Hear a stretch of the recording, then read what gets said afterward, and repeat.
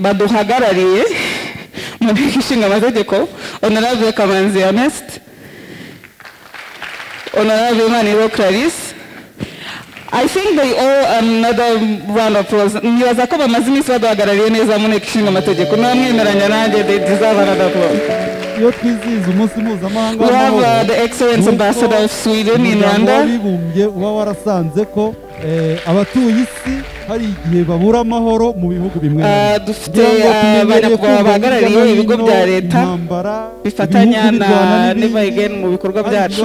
mukeya. Interpeace. ubu urugamba ruhangayikishije isi yose urugamba turi kurwana Uh, urugamba rurwana uwo ari we wese uh, icyorezo Club Intwararumuri. COVID-19. ni Calixte. urugamba ruri guhitana benshi ni urugamba rumaze guhitana benshi. Dufite abayobozi b'imiryango mpuzamahanga ndetse n'imiryango itari iya leta nabonye umuntu nyuma uhagarariye y'igihe GIZ kitari gito icyorezo cya korona virusi kigaragaye ku isi.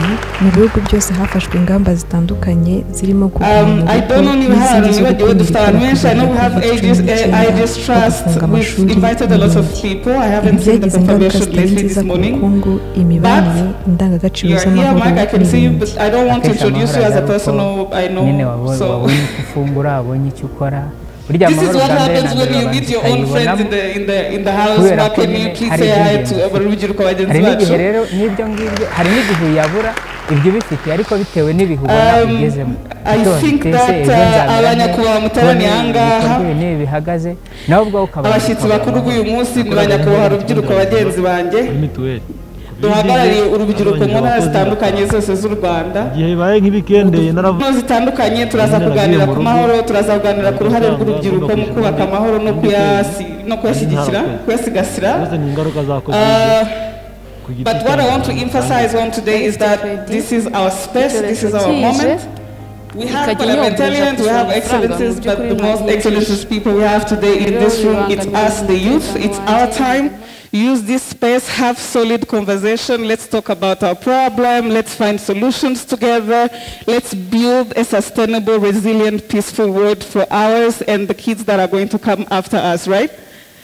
So ntabatsindiye ndagira ngo dutangire Uh, dufite pano ebyiri uyu munsi turaza kwakira aba- abahagarariye uh, ibigo bitandukanye gutanga uh, remarks zabo. Then we will have a session. Mpuzamahanga w'amahoro. Ni uko umuryango w'abibumbye uba warasanze ko eh, abatuye isi hari igihe babura amahoro mu bihugu bimwe na bimwe. Kugira ngo tumenyereye kumva hirya no hino intambara ibihugu birwana n'ibindi hari ibibazo bijyanye n'umutekano mukeya. Urugamba ruhangayikishije isi yose. Urugamba turi kurwana urugamba rurwana uwo ari we wese. Murabizi ni icyorezo cya covid cumi n'icyenda. Ni urugamba ruri guhitana benshi ni urugamba rumaze guhitana benshi. Mu bihe byagize ingaruka zitari nziza ku bukungu imibanire indangagaciro z'amahoro n'ibindi. Akenshi amahoro aza ari uko nyine wabonye wabonye icyo ufungura wabonye icyo ukora. Burya amahoro bwa mbere na mbere urabanza ukayibonamo. Kubera ko nyine hari iby'ingenzi ufite hari n'igihe rero n'ibyo ngibyo hari n'igihe uyabura ibyo bifite ariko bitewe n'ibihe ubona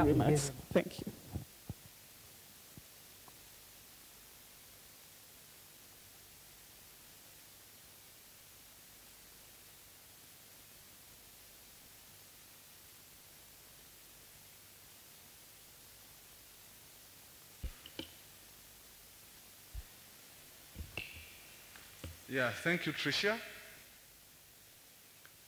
Uh, mwaramutse. Yeah, good morning. Abajeni, ko mumeze nka mutangwa y'icyayi? Eh? Mwaramutse? Yeah, uh, High Excellency, the Swedish Ambassador to Rwanda, Ms. Joanne Tega, honorable members of parliament, international and national organizations represented, youth representatives, ladies and gentlemen. In our Rwandan 27 years ago, and today, the young generation get to live in a peaceful and secure country as a result of... ibihugu birwana n'ibindi hari ibibazo bijyanye n'umutekano mukeya ubu urugamba ruhangayikishije isi yose urugamba turi kurwana urugamba rurwana uwo ari we wese. Murabizi ni icyorezo cya covid cumi n'icyenda. Ni urugamba ruri guhitana benshi ni urugamba rumaze guhitana benshi. Murabizi ko intambara ije n'amahoro arahungabana. Nyuma y'igihe kitari gito icyorezo cya korona virusi kigaragaye ku isi mu bihugu byose hafashwe ingamba zitandukanye zirimo kuguma mu rugo n'izindi zo gukumira ikwirakwiza rya covid cumi n'icyenda. Nko gufunga amashuri n'ibindi. Ibi byagize ingaruka zitari nziza ku bukungu imibanire indangagaciro z'amahoro n'ibindi. Ariko bitewe n'ibihe ubona ugezemo ikibazo utese in order to make informed decisions.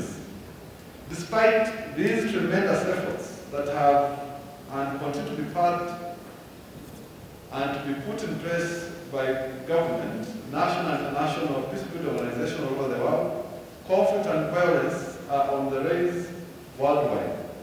In addition to various catastrophes, including COVID-19 pandemic, reasons that can hinder the peace-building efforts and affect the sustainable developments that we've been able to achieve. It was upon this realization this year, still, that more emphasis has been placed on recovery and resilience in the face of this pandemic. This building is one of the core pillars at Again Rwanda. Since the NAR reception in 2002, we've been working with youth under various programs and fostering societal healing and managing conflicts, and also encouraging positive and, and, and collaborative peaceful coexistence. We do this by providing safe spaces for the youth to discuss the root causes of conflict and overcome their wounds. We also equip youth with critical thinking skills to foster empathy, appreciate diversity, and develop a sense of self-responsibility. We argue we engage young people in dialogue, debates, theater, music, drama, as we're going to witness today, so, so that we can encourage them to be the uh, peace ambassadors in their respective uh, communities. We are very grateful for the relentless support by the Swedish Embassy in Rwanda and uh, uh, 24 years supporting um, IRDP, Interpeace, Nevigan, International Art, World Vision. So we appreciate the efforts that the Swedish Embassy is supporting the Rwanda people to be able to build uh, lasting uh, alliance. JZ has supported Nevigan for the last uh, 11 years when Nevigan was still a growing organization, investing more in youth so that we can be able to have uh, youth and leaders who are conscious about uh, peace. Yeah, your contribution to Rwanda's uh, healing and peace building journey is uh, commended. Today, as we observe the International Day of Peace, we are honored to host a national dialogue which has brought close to 200 youth from more than 15 districts. Decision makers, as we've seen, and government partners to reflect on the theme, recovering better for an equitable and sustainable world, the role of youth in promoting peaceful values. Therefore, as we gather here today, it's crucial for us to reflect on existing challenges while exploring recovery strategies through building synergies and engaging in collaborative efforts. We should also take it upon ourselves to continue providing platforms for the youth to engage in dialogue because only then we'll be assured of preparing a better future for the next generation and sustain what has been achieved. Instead of uh, sustain a better future, I should say a better today, because future never comes or tomorrow never comes. So we are preparing a better today, and that's why Navigate is uh, investing a lot in making sure that we empower the young uh, uh, generation. A warm welcome to you all to this national youth dialogue, we hope to learn from each other and establish areas of synergies while making actionable commitments on how we shall continue upholding peaceful values. As an organization devoted to peace building, we commit to equip the young generation with tools and capacity to play a meaningful role in shaping efforts, promote social co- cohesion, and build inclusive and peaceful societies in, in their contexts. Allow me to uh, thank the government of Rwanda. We've been working as a partner of transformation governance. So we appreciate the, the, the support and, and, the dialogue. As a long-term partner to Never Again and to supporting sustainable peace and social cohesion. The efforts of the Rwandan government and civil society in this area have been remarkable. The labors and commitments of your parents are truly awe-inspiring. But it's maintained in different ways. It's clear, why necessary, have limited your access to quality education and employment. It has also put on hold other activities that are so important for building social cohesion. Youth clubs, team sports, Umuganda, and avenues for feeding into local decision making. My government's foreign policy is feminist. It concerns me that women and girls all over the world, in many ways, in many ways, have borne the brunt of the pandemic. In Rwanda, we've seen the birth of youth-led tech companies. On the global level, the pandemic has had an equalizing effect as youth on different continents have been able to connect and exchange ideas. We should hold on to this innovation that has come up from these trying times. Finally, for many of us, social media has increasingly become the space where we exchange opinions. Today, on the International Day of Peace, the world is standing up against acts of both of hate, both online and offline. We know that social media can have a polarizing effect on the ways we discuss. Hate speech and extremism online is something we grapple with, also in my country. I wonder how we can turn the new openness of social media into a. I'm curious to hear your ideas on how online spaces can be safe, kind, and compassionate. Dear friends, this day was originally declared by the UN General Assembly for strengthening the ideas of peace by observing 24 hours of global non-violence. In Rwanda and in this room, mbifurije umunsi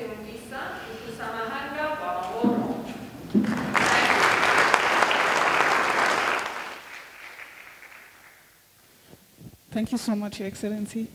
Um, one of the many channels we use at Never Again while we hold discussion is that we use art as a form of expressing our feelings and what we think we can do. If you have seen, we have painting in the corners and at the entrance. Our painters are in this room, so feel free to ask questions and probably buy a painting. Uh, using art also, we use music, so I would like to call Asifiwe and uh, Jean-Marie to share their song.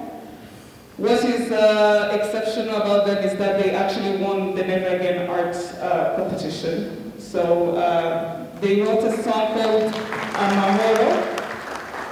So Asifiwe, if you are here, please, uh, can you come?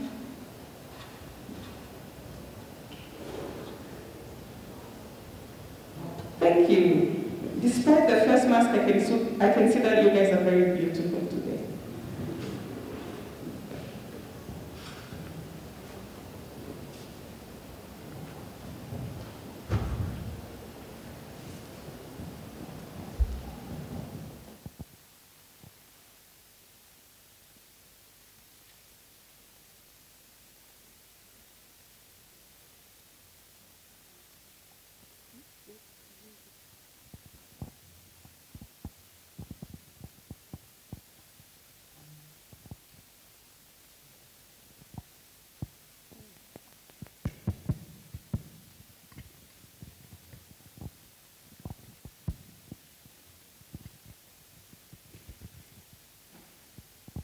mwiriwe neza Eh, bifurije umunsi w'amahoro mwiza. Ah, nitwa asifuwe laving nkaba ndi umunyeshuri muri kaminuza y'u rwanda i huye niga mu mwaka wa kabiri niga amategeko. Ndi kumwe n'undi muntu jeve reka musabe atambuke.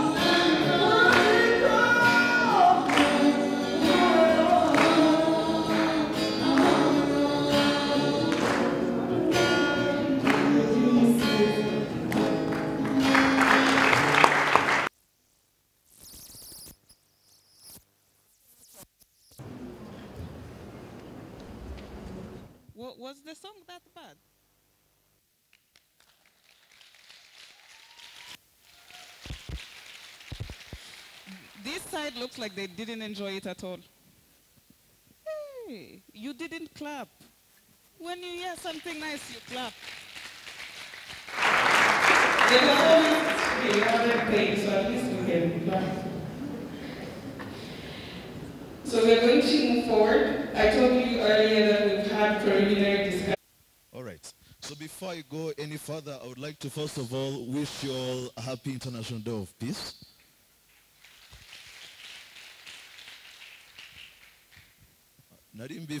Umunsi mwiza mpuzamahanga w'amahoro.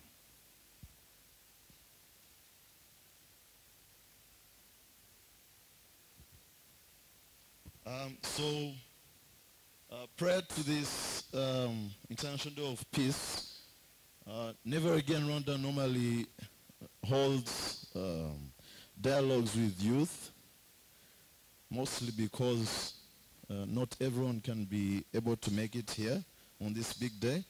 So we collect uh, thoughts from different youth and we present them to you on the big day to to add on to what you're going to all share with us today as well. Rick? So since the presentation is in English, I'll speak in Kinyarwanda. Presentation iri mu cyongereza ngiye kubivuga mu kinyarwanda. Munyemereye. Ah, ku iriburiro hano ah, iragira iti Ah, nk'uko nari maze kubivuga mu cyongereza mbere y'uko uyu munsi mpuzamahanga w'amahoro uba never again rwanda itegura ibiganiro n'urubyiruko mu bice bitandukanye by'igihugu. Ibi biganiro ni ho tuvana eh, ibitekerezo bitandukanye kuri iyi nsanganyamatsiko y'uyu mwaka Eh, insanganyamatsiko mu cyongereza ivuga ngo eh, recovering better for an, an equitable and sustainable world. The role of youth in promoting peaceful values. Ninde wadufasha kuyisemura mu kinyarwanda mu bajene nzi ko musanzwe muzi ikinyarwanda cyinshi cyane abantu tujya tuganira ntawadufasha yes hagira umuntu wa mikoro uriya muntu uri inyuma komeza uzamura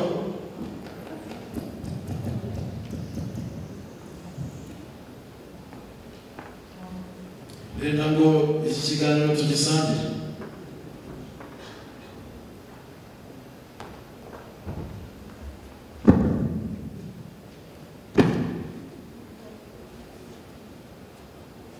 ongera uzamura akaboko tukurebe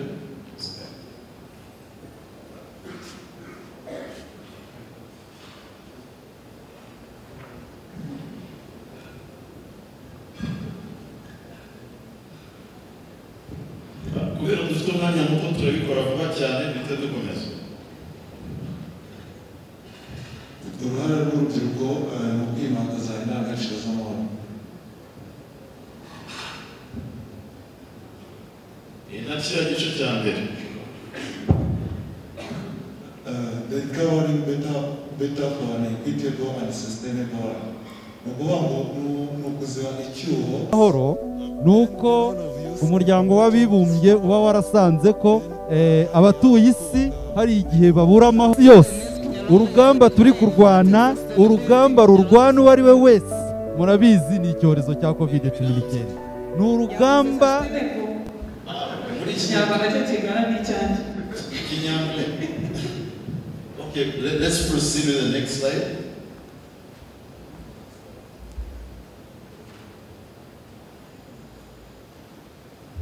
So mu kinyarwanda murabibona uko byari bimeze uyu mujene ntabwo yibeshye cyane. Ni twiyubake twubaka isi ibereye bose mu buryo burambye.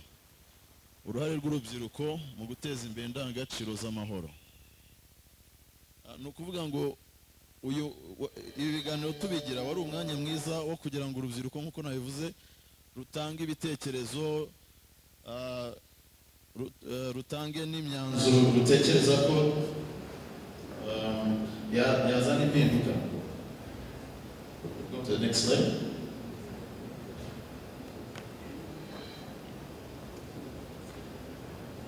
ibi biganiro rero byabereye mu ntara icyenda ah, arizo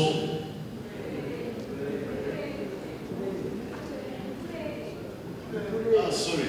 Uturere ubwo mbese mbona ko murimo kubyumva neza sibyo okay so ni uturere district.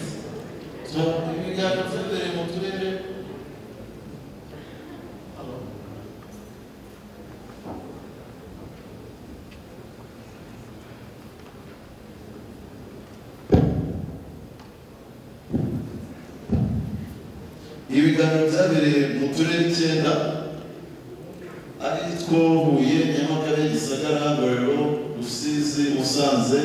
nyagatare nyanza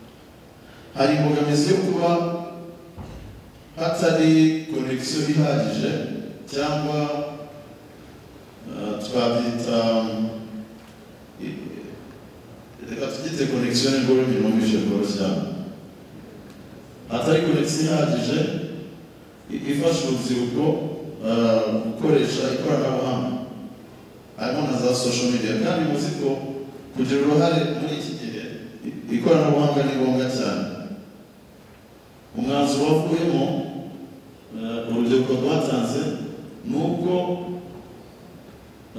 gahunda zo kongera konegisiyo cyangwa n'iminara ya interinete bikwiye gushyirwamo imbaraga cyane mu turere no mu byaro mu ntara hajya twavuga uturere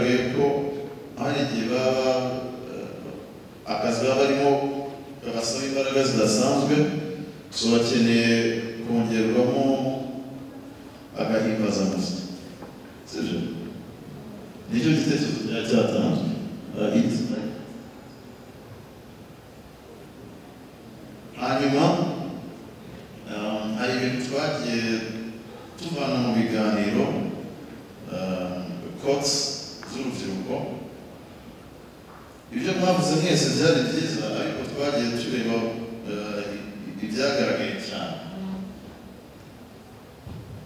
iyi ngiyi iragira iti iyo turimo kuvuga amahoro dukwiye no kuvuga ku bushomeri bukomeje kwiyongera bw'urubyiruko kuko biri mu bituma biri mu bibangamira amahoro next Ah, hari abandi bagize bati abantu bakwiye kwicisha bugufi hari ikibazo yes ah, pardon. gusimura birimo kumva umwanya Ah, abandi bavuze bati ah, dukwiye kwicisha bugufi tukanagirana neza kugira ngo dushobore guhangana n'amakimbirane kandi dukwiye mu by'ukuri kubona ko twese ah, ukuntu tubanyeho ari ari magirirane buri umwe akenera undi ikindi aba- urubyiruko rwashimangiye yuko twabishaka tutabishaka turakeneranye barakomeza bati twabonye inzara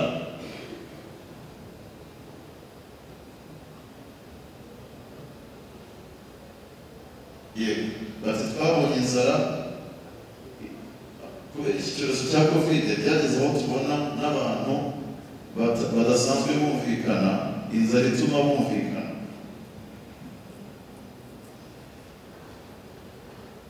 next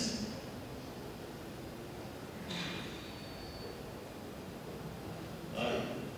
hano eh, indi rwose twavanyemo um, iragira iti ah, ingaruka z'iki cyorezo ah, icyorezo cya covid cyagize ingaruka zikomeye ah, ku burezi Ah, cyane cyane kuko habayeho ubutinde abanyeshuri bamwe murabizi benshi hafi ya bose ah, ntabwo bakomeje amashuri nk'uko bisanzwe biba biteganyijwe so habayemo ubutindire next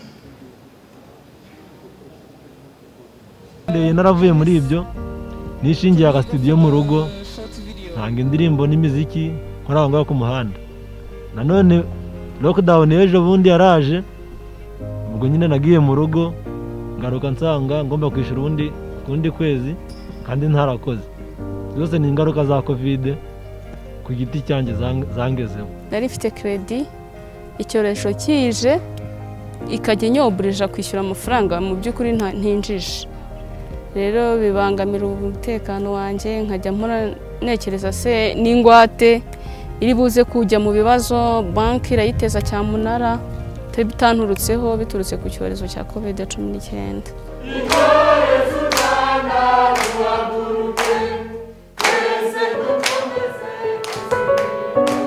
Urubyiruko tuba dufite inzozi nyinshi zo kuzageraho aho uzajya ibyo ushaka kugeraho bindi mu buzima busanzwe. Abenshi badindiye mu myigire. Nize imyaka ine nakagombye kwiga imyaka itatu. Kumva umwaka wiyongereyeho. Hari ibyo nari napanze byo kubanza gukora ndangije amashuri ariko ntabwo nabigezeho uburyo icyorezo cyaje uburyo ingamba zagiye zifatwa kugira ngo habeho kwirinda. Ibyo byatumye habaho ah, guhangayika bikabije ku bantu ndetse no kugira agahinda bikabije kuko habayemo gutakaza abantu. Nturwaze umuntu gupfusha ntutabarwe hazamo noneho no gutakaza ubushobozi bw'imikorere habamo gutakaza akazi biganisha ku bukene. Ibyo byose urwo rujijo cyangwa icyo gihirahiro abantu babayemo cyatumye habaho kwiyongera kw'agahinda ndetse no guhangayika bikabije. Kubera ubwo bwigunge havutse ikibazo urubyiruko rwinshi rwagiye mu biyobyabwenge. Kubera ko icyo kintu cyo kwiheba bagira depression batangira gukoresha ibiyobyabwenge. Nubwo bimeze bitya urubyiruko ntabwo rwaheranywe n'ingaruka za covid cumi n'icyenda. Ahubwo ku bufatanye bw'inzego za leta zitandukanye ndetse n'abafatanyabikorwa urugendo rwo kwishakamo ibisubizo ndetse no kubaka ibyashegeshwe na covid cumi n'icyenda rurakomeje. Nkanjye itsinda mbarizwamo ni itsinda rijyanye n'ibintu by'ubuhinzi n'ubworozi. Ibintu by'ubuhinzi n'ubworozi twabonye yuko muri iyi minsi y'igihe cya cyaguma mu rugo cyangwa cya covid twabonye yuko abantu benshi bagiye babura ibibatunga. Turiyoganiza tu- tu- twereka akarere ko dushoboye kandi dushaka gukora akarere nako kadutera inkunga kaduha imirima yo guhingamo ndetse hari n'indi mishinga imwe n'imwe bagiye batuzanira iratwegera kugira ngo ibashe kudufasha kuza- kuzahura ubukungu bwo mu karere ka nyamagabe buturutse mu mbaraga zacu nk'urubyiruko. I- iyi experience yagiye ituma tubona ko nk'urubyiruko kuzigama ni umuco mwiza. Tukareba kure tukamenya ngo nimba uyu munsi eh, ukoreye ibihumbi icumi menya yenda uryemo birindwi bitatu byizigamire kugira ngo ejo nihaza ikindi kibazo kimeze nka covid uzabashe kuba wariteguye wikavaringa uko agahenge kagenda kaza uko icyorezo kigabanuka ndetse ah, n'inkingo zikomeza kuboneka birongera kugarurira urubyiruko icyizere rwatakaje ah, bityo bakaba bakongera ah, bagakora ya- ya mishinga yabo bigatuma urubyiruko rwitekerezaho rugatekereza no ku hazaza aho kugira ngo gusa rwitekerezeho rubona nta nzira ndetse nta na kimwe gihari. Amahoro iwacu rwanda ye afite uruhare mu iterambere. Amahoro iwacu rwanda ye afite uruhare mu iterambere. Iyo twizihiza umunsi mpuzamahanga w'amahoro ni uko umuryango w'abibumbye uba warasanze ko eh, abatuye isi hari igihe babura amahoro mu bihugu bimwe na bimwe. Ngira ngo tumenyereye kumva hirya no hino intambara ibihugu birwana n'ibindi. Hari urugamba turi kurwana urugamba rurwana uwo ari we wese. Murabizi ni icyorezo cya covid cumi n'icyenda ni urugamba ruri guhitana benshi ni urugamba rumaze guhitana benshi. Murabizi ko intambara ije n'amahoro arahungabana. Nyuma y'igihe kitari gito icyorezo cya korona virusi kigaragaye ku isi mu bihugu byose hafashwe ingamba zitandukanye zirimo kuguma mu rugo n'izindi zo gukumira ikwirakwiza rya covid cumi n'icyenda nko gufunga amashuri n'ibindi. Ibi byagize ingaruka zitari nziza ku bukungu imibanire indangagaciro z'amahoro n'ibindi. Akenshi amahoro aza ari uko nyine wabo- wabonye uko ufungura wabonye icyo ukora burya amahoro bwa mbere na mbere urabanza ukayibonamo ku- kubera ko nyine hari iby'ingenzi ufite. Hari n'igihe rero n'ibyo ngibyo hari n'igihe uyabura ibyo ubifite ariko bitewe n'ibihe ubona ugezemo. Ukibaza utese ejo nzamera nte kubona ibikorwa ibi n'ibi bihagaze nawe ubwawe ukabanza ukabura amahoro. Nakoraga nk'intore mu kigo nderabuzima muri mituweli. Covid ije bagabanyije abakozi ndataha. Igihe bibaye nk'ibikendeye naravuye muri ibyo nishingiye agasitidiyo mu rugo ntanga indirimbo n'imiziki nkora aho ngaho ku muhanda. Nanone lockdown y'ejo bundi yaraje ubwo nyine nagiye mu rugo ngaruka nsanga ngomba kwishyura ubundi ubundi kwezi kandi ntarakoze. Zose ni ingaruka za kovide ku giti cyanjye zang- zangezeho. Nari mfite keredi icyorezo kije ikajya inyoburija kwishyura amafaranga mu by'ukuri ntinjije. Rero bibangamira umutekano wanjye nkajya ntekereza se n'ingwate iri buze kujya mu bibazo banki irayiteza cyamunara bitanturutseho biturutse ku cyorezo cya kovide cumi n'icyenda.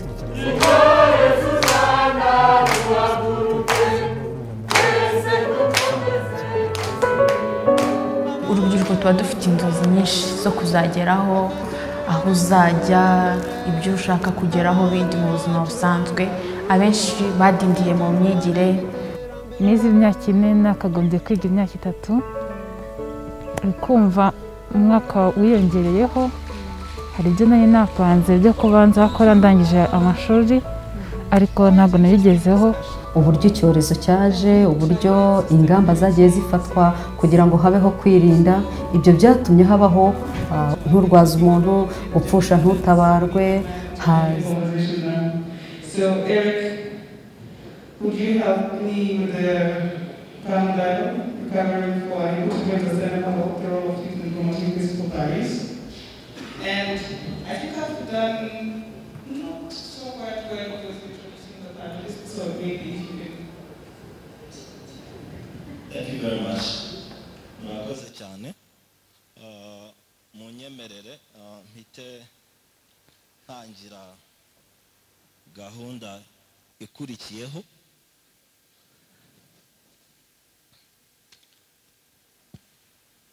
Uh, ba nyakubahwa uh, ndagira ngo nibutse ko uyu ari umunsi mpuzamahanga w'amahoro nk'uko mugenzi wanjye uh, Tricia uh, yari yabigarutseho kare uyu munsi rero ikintu cy'ingenzi dukora ni ukuganira icyo twita reflection hanyuma tukongera mpuzamahanga w'amahoro ari na yo mpamvu tugaruka hano uyu munsi kugira ngo dutekereze ku bibazo byagarutsweho ariko ntibize kugarukira gusa ku kubitekereza.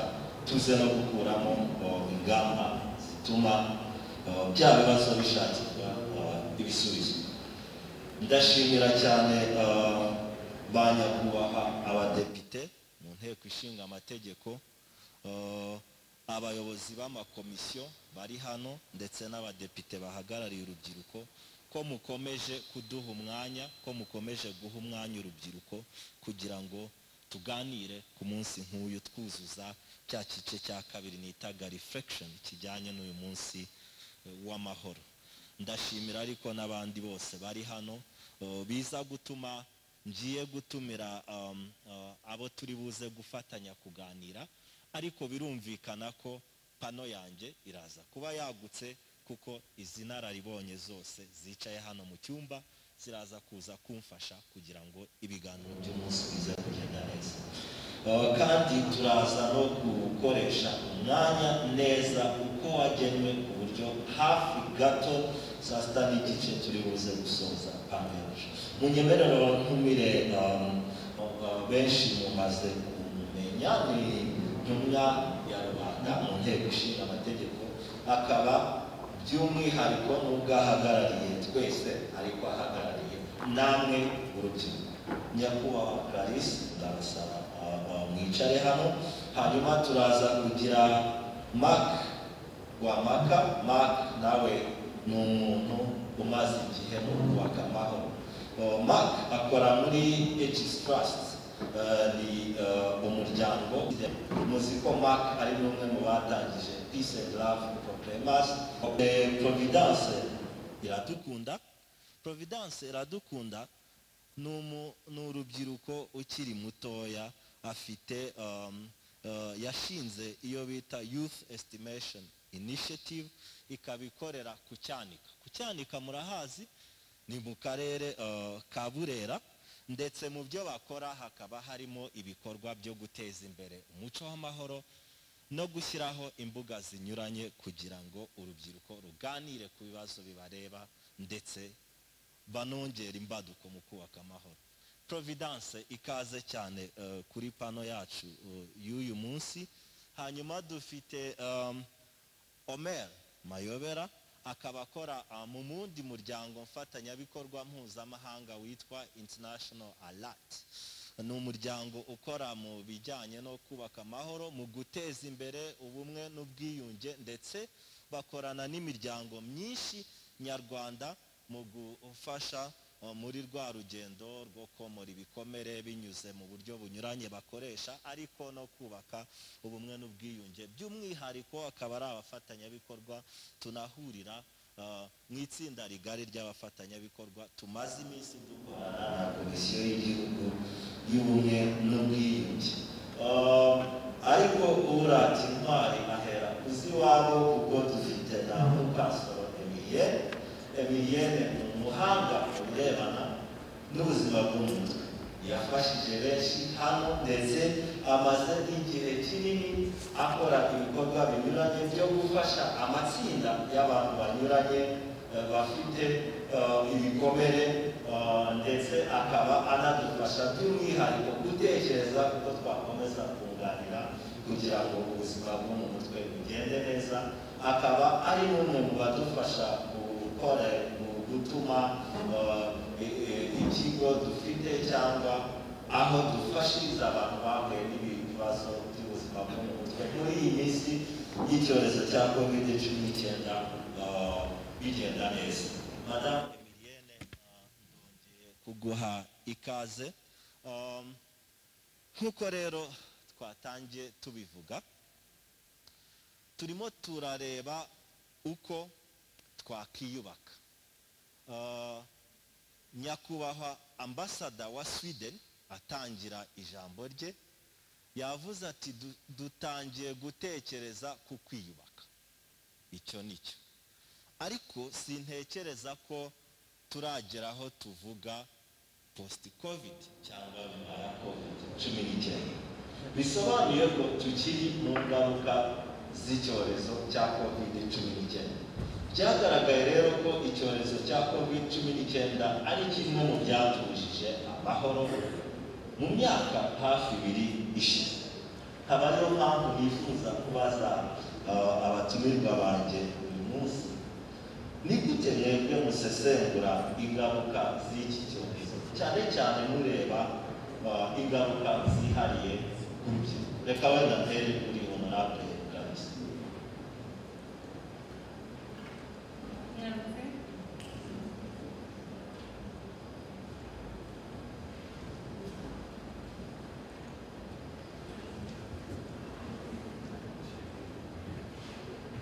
tugire amahoro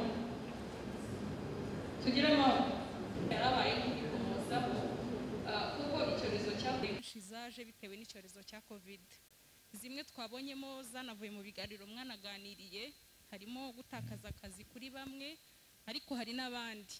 Ntabwo mwabigarutseho na byo ariko turaza kubigarukaho hano kuri panel hari n'abandi nabo babonye imirimo.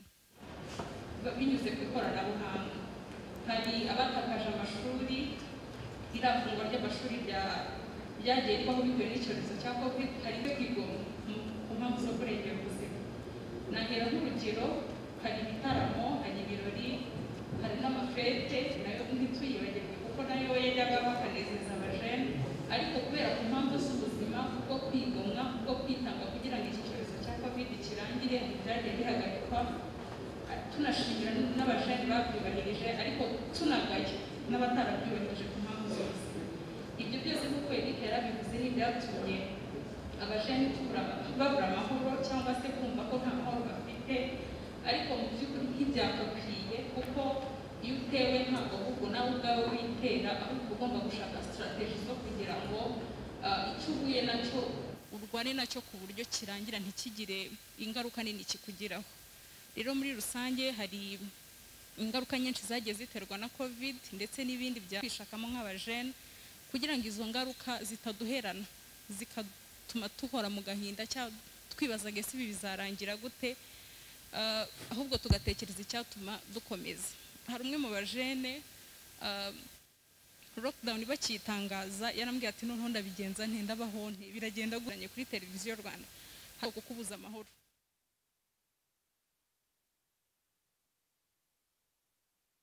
Gushaka akaraka ukajya ku ishuri bigahinduka na byo bishobora kukubuza amahoro. Ariko icyo nagarukaho ntiduheranwe ngo twibaze ngo kovide bizarangira gute ahubwo dutekereze icyatuma nk'abajene nk'imbaraga z'igihugu. Tuvuga ngo turabyikuramo gute turashaka ibisubizo gute. Turafasha iki igihugu kugira ngo iyi kovide irangire ah, vuba kandi nta n'icyo yangije cyane. Hari ibyo yangije ariko nanone tugire n'ibyo twigiraho. Numva muri make kugira ngo ntafate umwanya cyane ni byo naba mvuze ubwo turakomeza tuganire. Murakoze. Urakoze cyane honorable. Mark hari icyo honorable uh, agarutseho ku birebana n'iby'urubyiruko rwigomwe. Ariko hagobetsemo akantu kuko hari ukuntu umuntu kuba yaravuye muri ubwo rwari rusanzwe eh, rubaho rufite ibyo bifuza kugeraho rwakozwe. Ah, wenda honorable yanabivuze ah, twari twabonye no kuri iyi video barimo kubivuga. Ariko reka nkomoze ku kintu cyo guhindura uko wari usanzwe ubayeho. Icya mbere tuvuge nk'urubyiruko rwari rubayeho rudafite akazi ka buri munsi. Kimwe mu bintu cyashobokaga ni uko bashobora baza kuza bashaka gutanga imirimo nabo baba bahari bajye kuba muri iyo mirimo. Abenshi muri abo ngabo ntabwo bigeze bitegura yuko kovide izamara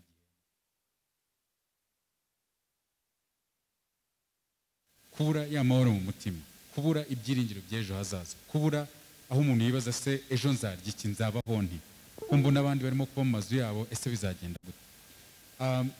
Rimwe na rimwe biba byiza iyo akenshi biba byiza ko leta ifasha abantu ariko buriya biba byiza kurushaho iyo wowe witegurira uko ejo hazaba hameze. So icya mbere navuga ni uko ya- ryahindagurika ryahinduye kwa kwizera kw'ejo kuzabaho kwa rwa rubyiruko bituma bahungabana bigahungabanya n'amahoro yabo. Ndibaza ko navuga ibintu byinshi ariko watubwiye ko tugomba gukoresha umwanya neza reka mfate icyo cyonyine gusa murakoze. Murakoze? Providence. Hariya hantu mukorera ko ari mu cyaro akenshi urubyiruko ruhari hakaba harimo n'abakora ibikorwa bitigeze bihagarara. Hari amahoro byababujije. ya hari amahoro byatubujije cyane. Mu rubyiruko dukorana aho dukorera mu karere ka burera habayeho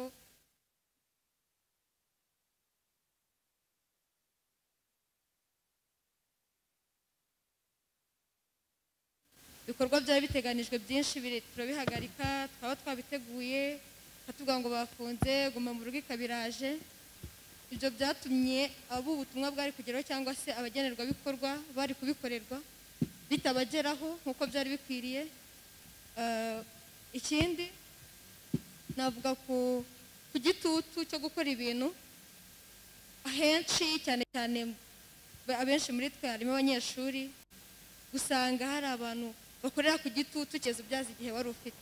Ugasanga ni ikibazo cyane indi ngaruka nanone byatugizeho mu buryo bw'amahoro mu by'ukuri fayinanse ni ikibazo. Ikintu ki- gukora amaporoje amwe n'amwe nk'urugero nkanjye nakivuga nari gukora poroje ariko birangira itaraninze kubera korona yajya gukorwa bikarangira nanone ngo ngo lokidawuni ngo haje ngo guma mu rugo.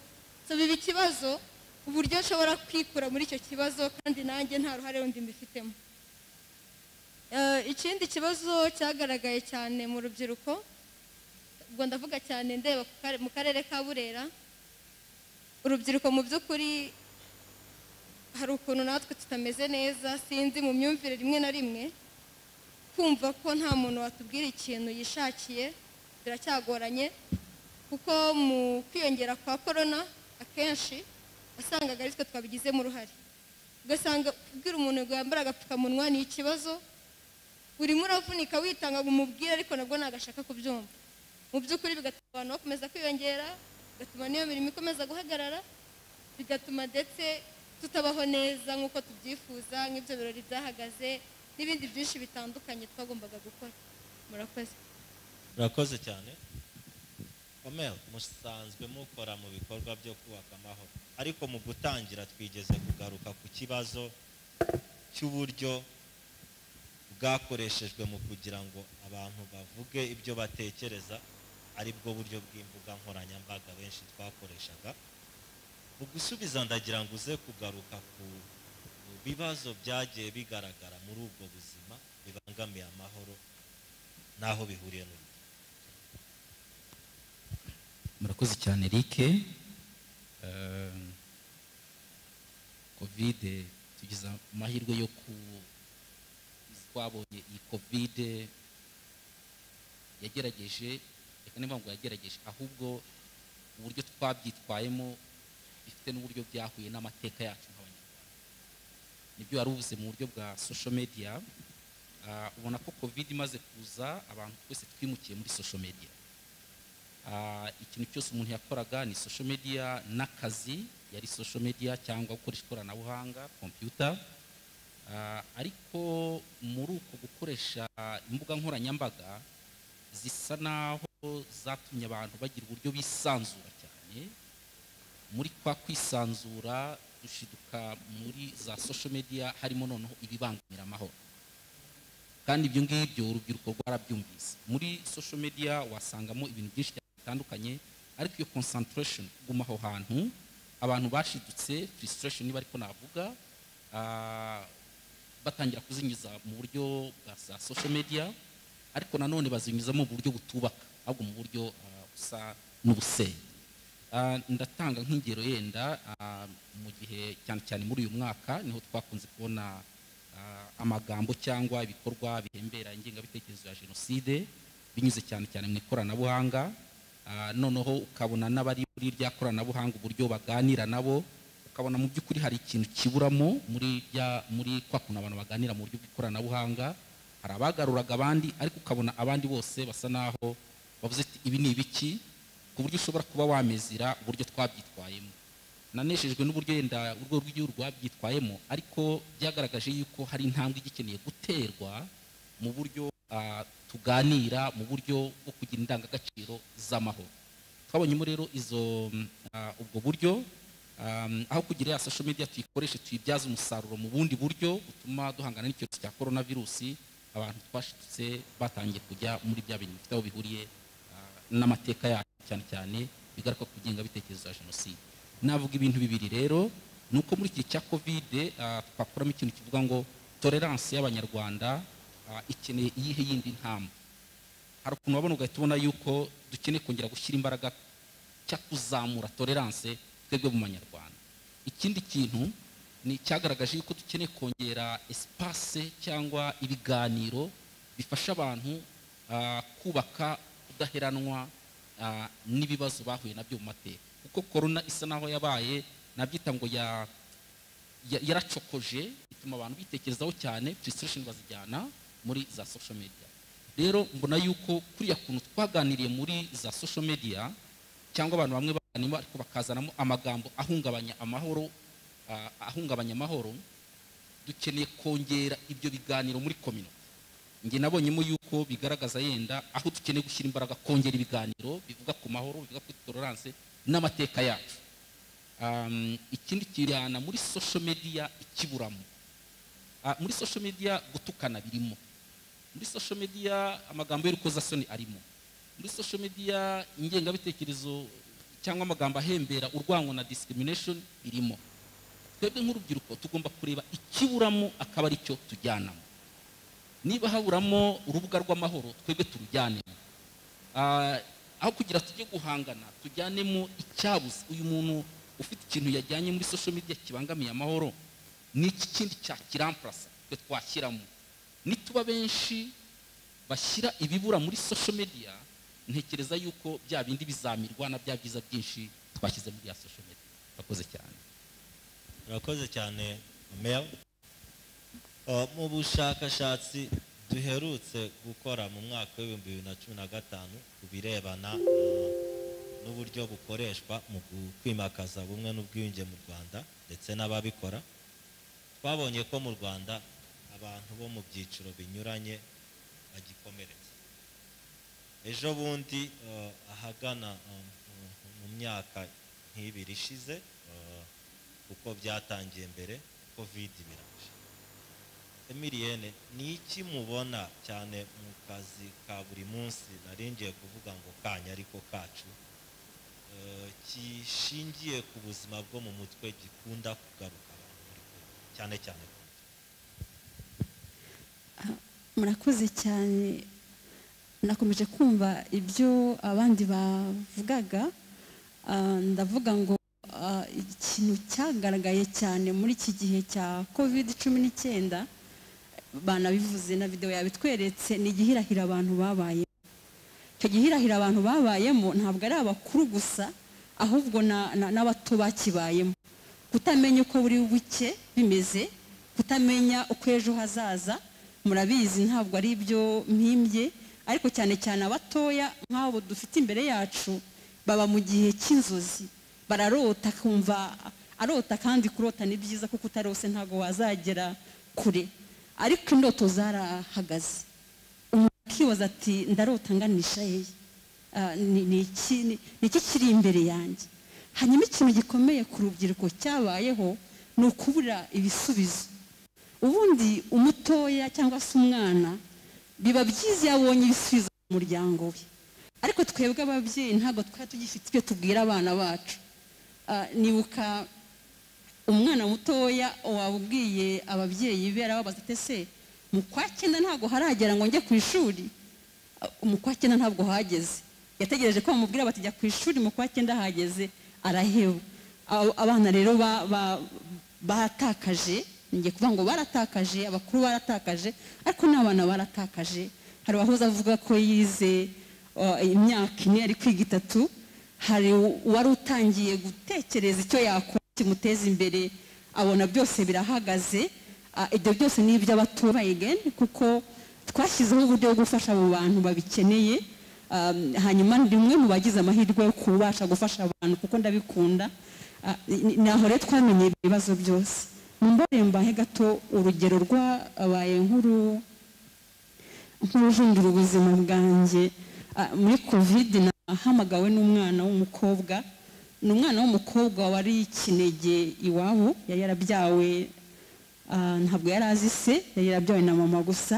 Ariko mu kigero yari agezemo cy'ubwangavu ni umwana cyane wumvaga yifuza ko imibereho y'umuryango we ihinduka. Ni wa mwana ukunda kugerageza utuntu dutandukanye rimwe akaba aracuruza mitiyu ubundi akaba yagiye mu bitoki akabipakira imodoka bijya gu- gucuruzwa. Yageragezaga ibintu bitandukanye kuko yari atuye mu karere kari kure cyane ka rutsiro hanyuma covid ije ah, yibura twa dufaranga yashoraga atangira kudutungisha umuryango we Ah, ah, ah, yumvaga adashaka ko mama we wari urwaye. ah, abura icyo kurya. Noneho asanga udufaranga dushize nta kintu akoze kizima yabashe gutunga umuryango we n'ibyo ariko ntanabona uko ejo azabigenza. Aza gusanga rero nimero zacu tuba twarazishyize ahagaragara ngo ugira ikibazo abashe kuduhamagara twabifashijwemo n'ubuyobozi bwa Never Again hanyuma arampamagara arambwira turabizi n'ikindi. Harya iyo umuntu yabuze uko abigenza. Harya iyo umuntu atabona icyo azakora ejo abigenza ati ko mva ngewe mfite umwanzuro mubi wo kwiyambura ubu buzima butagifite icyo buvuze nagize ubwoba ah, ntabwo ari ubwa mbere nari numvise umuntu ambwira ati ngiye kwiyahura. Ariko kumva umwana mutoya ungana gutya akubwira ngo agiye kwiyahura uri umubyeyi wibagirwa ibyo wakoraga wibagirwa umwuga wawe ukagira ubwoba nagize ubwoba. Ariko ndamubwira ntinyemerera tuganire. Nyemerera tuganire. Umbwire niba cyo gisubizo cya nyuma wabonye. Ngira ngo ahari nanitabaje n'ubuyobozi bw'umuryango nkorera ariko byarangiye umwana wavuze ati hoya ndatsinzwe se nsinzwe ntarwanye. Muri icyo hari n'abarenze guhangayika babivuze bagira depression bagira depression bagira agahinda gakabije. Kuko ntabwo bisanze batazi niba ah, hari igifasha bagiye nabibabwiye mu kanya mube mwitegura ndaje eh, mbahe umwanya namwe mumfashe kubaza ariko mbere y'uko mbigeraho. Munyemerere mbanze mbaze eh, abatumirwa eh, ikibazo kimwe mpereye kuri honorable Clarisse nasha. Urubyiruko turimo kuvuga rufite ibi bibazo muri iki gihe igihugu kirimo guhangana na covid. Mushingiye ku byo mukora. Kuko mufite mu nshingano gukurikirana ibikorwa bya guverinoma. Mukurikije ibyo mubona biriho. Ndashaka mushushanyirize ishusho y'urubyiruko mu gihe covid ishobora kuba itakiriho. N'ibisho n'ibyo dukeneye gukora nonaha Ah, urakoze cyane mahoro ku kibazo cyiza. Gusa icyo naheraho ah, wenda nsubiza bimwe mu byo mahoro yarambajije ah, ni uko kandi koko niko kuri. Tugaragaje cyangwa se namwe mwagiye mugaragaza ibibazo bitandukanye ndetse n'imbogamizi zitandukanye zagiye zibaho bitewe n'ingaruka za covid ariko kuba byaragaragaye ni kimwe mu bisubizo twabona cyo kugira ngo ibyo bibazo bibashe kuba byanabonerwa ibisubizo kandi mu buryo bwihuse. Kuko ah, wenda hano hashobora kuba hatarimo abahinze ariko ah, umuntu uri guhinga iyo abonye isuka. Ntabwo iyo abonye ibuye afite isuka. Nk'uko nari mvuze ko ibuye ryagaragaye riba ritakisha isuka. Ntabwo ari- arikubitaho ahubwo ararihunga akarikuramo nubwo rishobora kumukereza mu kurikuramo arikuramo ariko yarangiza agakomeza agahinga. Rero muri make ah, hari icyerekezo igihugu cyihaye muhumure. Tuzakigeraho ndetse tunarenze nubwo habayemo imbogamizi za covid cyahanzwe noneho na covid niyo yari ihari hari yatakaye. Hari uri kwibaza ati ese rya koranabuhanga twatekerezaga kugeraho? Noneho rizagerwaho? Nimuhumure. Tuzabigeraho. Tuzabigeraho kandi neza kandi tunabirenza ariko birasaba uruhare rwacu twese kugira ngo ibyo tubigereho. Ikindi nshaka gukomozaho gatoya ni icyo kuvuga ko urubyiruko turi abanyamahirwe ah, kandi akomeye kuko ah, uyu munsi nitwe twicaye hano kuri panel ariko ejo cyangwa se umwaka utaha cyangwa imyaka ibiri iri imbere ah, nanashimye kuba mbona hari abari kwandika. Hari abari kwandika abandi bariho niba bari bari kwandika muri telefone niba bari kureba muri telefone ariko icyiza ni uko muri kwandika. Kuko aya ni amahirwe umuntu aba ari kwiga. Kuko ibingibi turi kuvuga hano ibingibi twese twicaye hano turi kuvuga abari buvuge batandukanye ejo n'ejo bundi nawe uzasabwa kujya kubibwira abandi. Kandi koko turi hano turi abambasaderi b'abandi. Ni byiza ko tubyandika akanakumva akagutega amatwi akakumva. Uru rubyiruko turi abanyamahirwe. Ubwo ndi kugaruka kuri bya bibazo byose twagarutseho twavuze. Kuba dufite platform nk'urubyiruko twicara tukavuga ngo byagenze gutya. Covid yadusigiye izi ngaruka izi n'izi. Ariko tukabona n'aho tuzivugira. Tukisanzura tukanazivuga. Nawo ni umugisha. Ni amahirwe adasanzwe. Kuba rero bigaragara ni ikigaragaza ko n'ibisubizo biri hafi.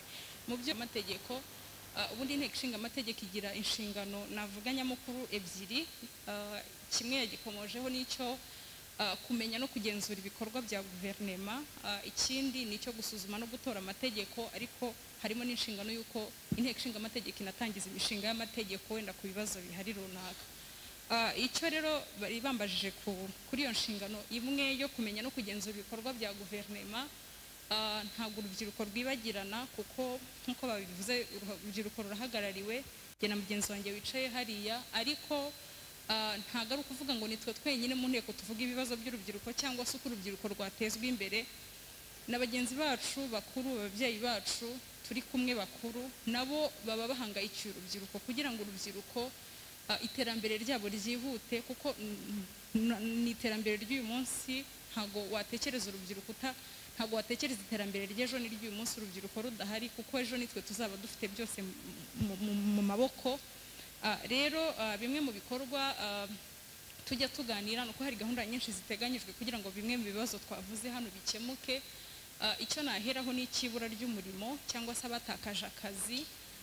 Hari gahunda ah, zateganyijwe cyangwa se zakozwe ku bufatanye ah, na minisiteri y'urubyiruko ndetse ndumva na UNDP reka mpere kuri ni ikigega cyashyizweho cyitwa Youth Recovery Fund ah, aho bashyizemo arenga miliyoni magana atanu. Yego aracyari make mushobora kuvuga ngo ni make ariko urugendo ruracyakomeje rwo- kugira ngo batekereze. Ese imishinga y'urubyiruko yahombye nk'iyo mugenzi wacu uri kuri panel hano yari avuze? Ese abatakaje imirimo bazongera kongera kubona imirimo gute? Hari ikigega cyashyizweho by'umwihariko cy'urubyiruko bashyiramo amafaranga ndumva baranamaze no kuyahabwa ariko izo gahunda ziracyakomeje. Ah, ikindi nagarukaho ni ni ikigega cy'igihugu national recovery fund ah, na cyo cyashyizweho ndumva ku bufatanye nako Ah, hari gahunda ah, ya eco brigade ndumva abantu baba muri gicumbi benshi muri iki gihe hari iya road maintenance business yawe yarahombejwe na covid cyangwa se wari ufite icyo ukora kigahombirwa na covid. Ariko ah, ibyiza biri imbere urugendo ruracyakomeje ah, igihugu cyacu kiracyakomeje gutekereza ah, ku iterambere ry'urubyiruko no ku byiza by'urubyiruko. Ikindi nagarukaho numva cyagarutsweho cyane ni icy'iyo amashuri gutakaza amashuri. Hari abataye amashuri hari abize ku mugani akiga umwaka umwe akawigamo i- igihe kirenze yakagombye kuba yigamo. Uh, ariko mineduc yari yatubwiye ko uh, hateganyijwe ko hazongerwa ubushobozi mu bijyanye n'ikoranabuhanga kuko mwarabibonye ko muri iki gihe cya covid urubyiruko turacyari kumwe ra? Turacyari kumwe? Cyangwa byabaye byinshi? Uh, hari gahunda yo kugira ngo hongerwe ubushobozi bw'ikoranabuhanga yaba mu bijyanye n'ibikorwa remezo nk'iminara nk'uko mwabigaragaje. Ndetse abantu banigishwe ku bijyanye n'ikoranabuhanga. Kuko muri iki gihe cya covid mwarabibonye ko ikoranabuhanga ryarafashije abafite ikoranabuhanga hari abakomeje bakiga. Hari gutekerezwa uburyo iryo koranabuhanga ryashyirwamo imbaraga ku buryo niyo twakongera guhura n'icyorezo nk'iki abantu batakongera guhagarara ngo mu kwiga cyangwa se izindi mbogamizi ahubwo hakoreshwa ubundi buryo kugira ngo ubuzima bukomeze.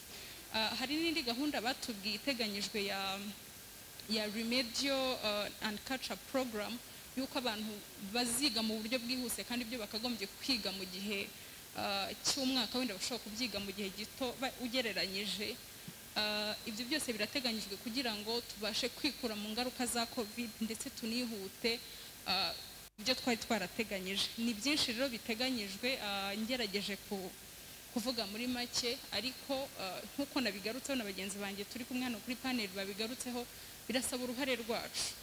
Ni ndinda nkurinde kugira ngo iyi covid irangire dukomeze uh, kuko aho abandi basabwa ku- kugenda bisanzwe twe turasabwa kwihuta. By'umwihariko nk'urubyiruko turasabwa kwihuta. Turasabwa kubahiriza amabwiriza baduha. Ariko ikindi tukanasabwa no kumenya amakuru no gushaka amakuru.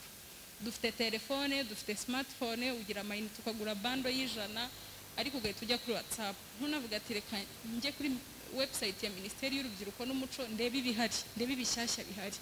Icyo kintu rwose babigarutseho bavuga icy'ikoranabuhanga niba uguze bando za mirongo itanu iz'ijana hita ureba uvuga ati kuri minisiteri y'urubyiruko ni iki baduteganyiriza? Minisiteri y'umurimo eh, gahunda za leta ni iki? Umenye amakuru y'igihugu giteganya y'iby'igihugu gitekereza? Nawe uvuge ngo hari uruhare nabigiramo hari icyo nakora hari icyo nafasha ariko nanjye hari n'ibyo byamfasha mu kumenya gahunda za leta ziteganyijwe. Urumva ari ibyo navuga muri make murakoze. Murakoze honorable Clarisse. Anagarutse cyane ku byo inzego zirimo guteganya. Mu kanya ndaza kubabaza mwitegure. Muraza kumbwira niba ibyo bintu mubibonamo icyizere cyangwa zimwe muri izo gahunda muzizi ma ndakubaza mu buryo bubiri. Uh, at the end of the tunnel do you see light or darkness? Ukurikije ibyo avuga urabona urumuri cyangwa urabona umwijima nyuma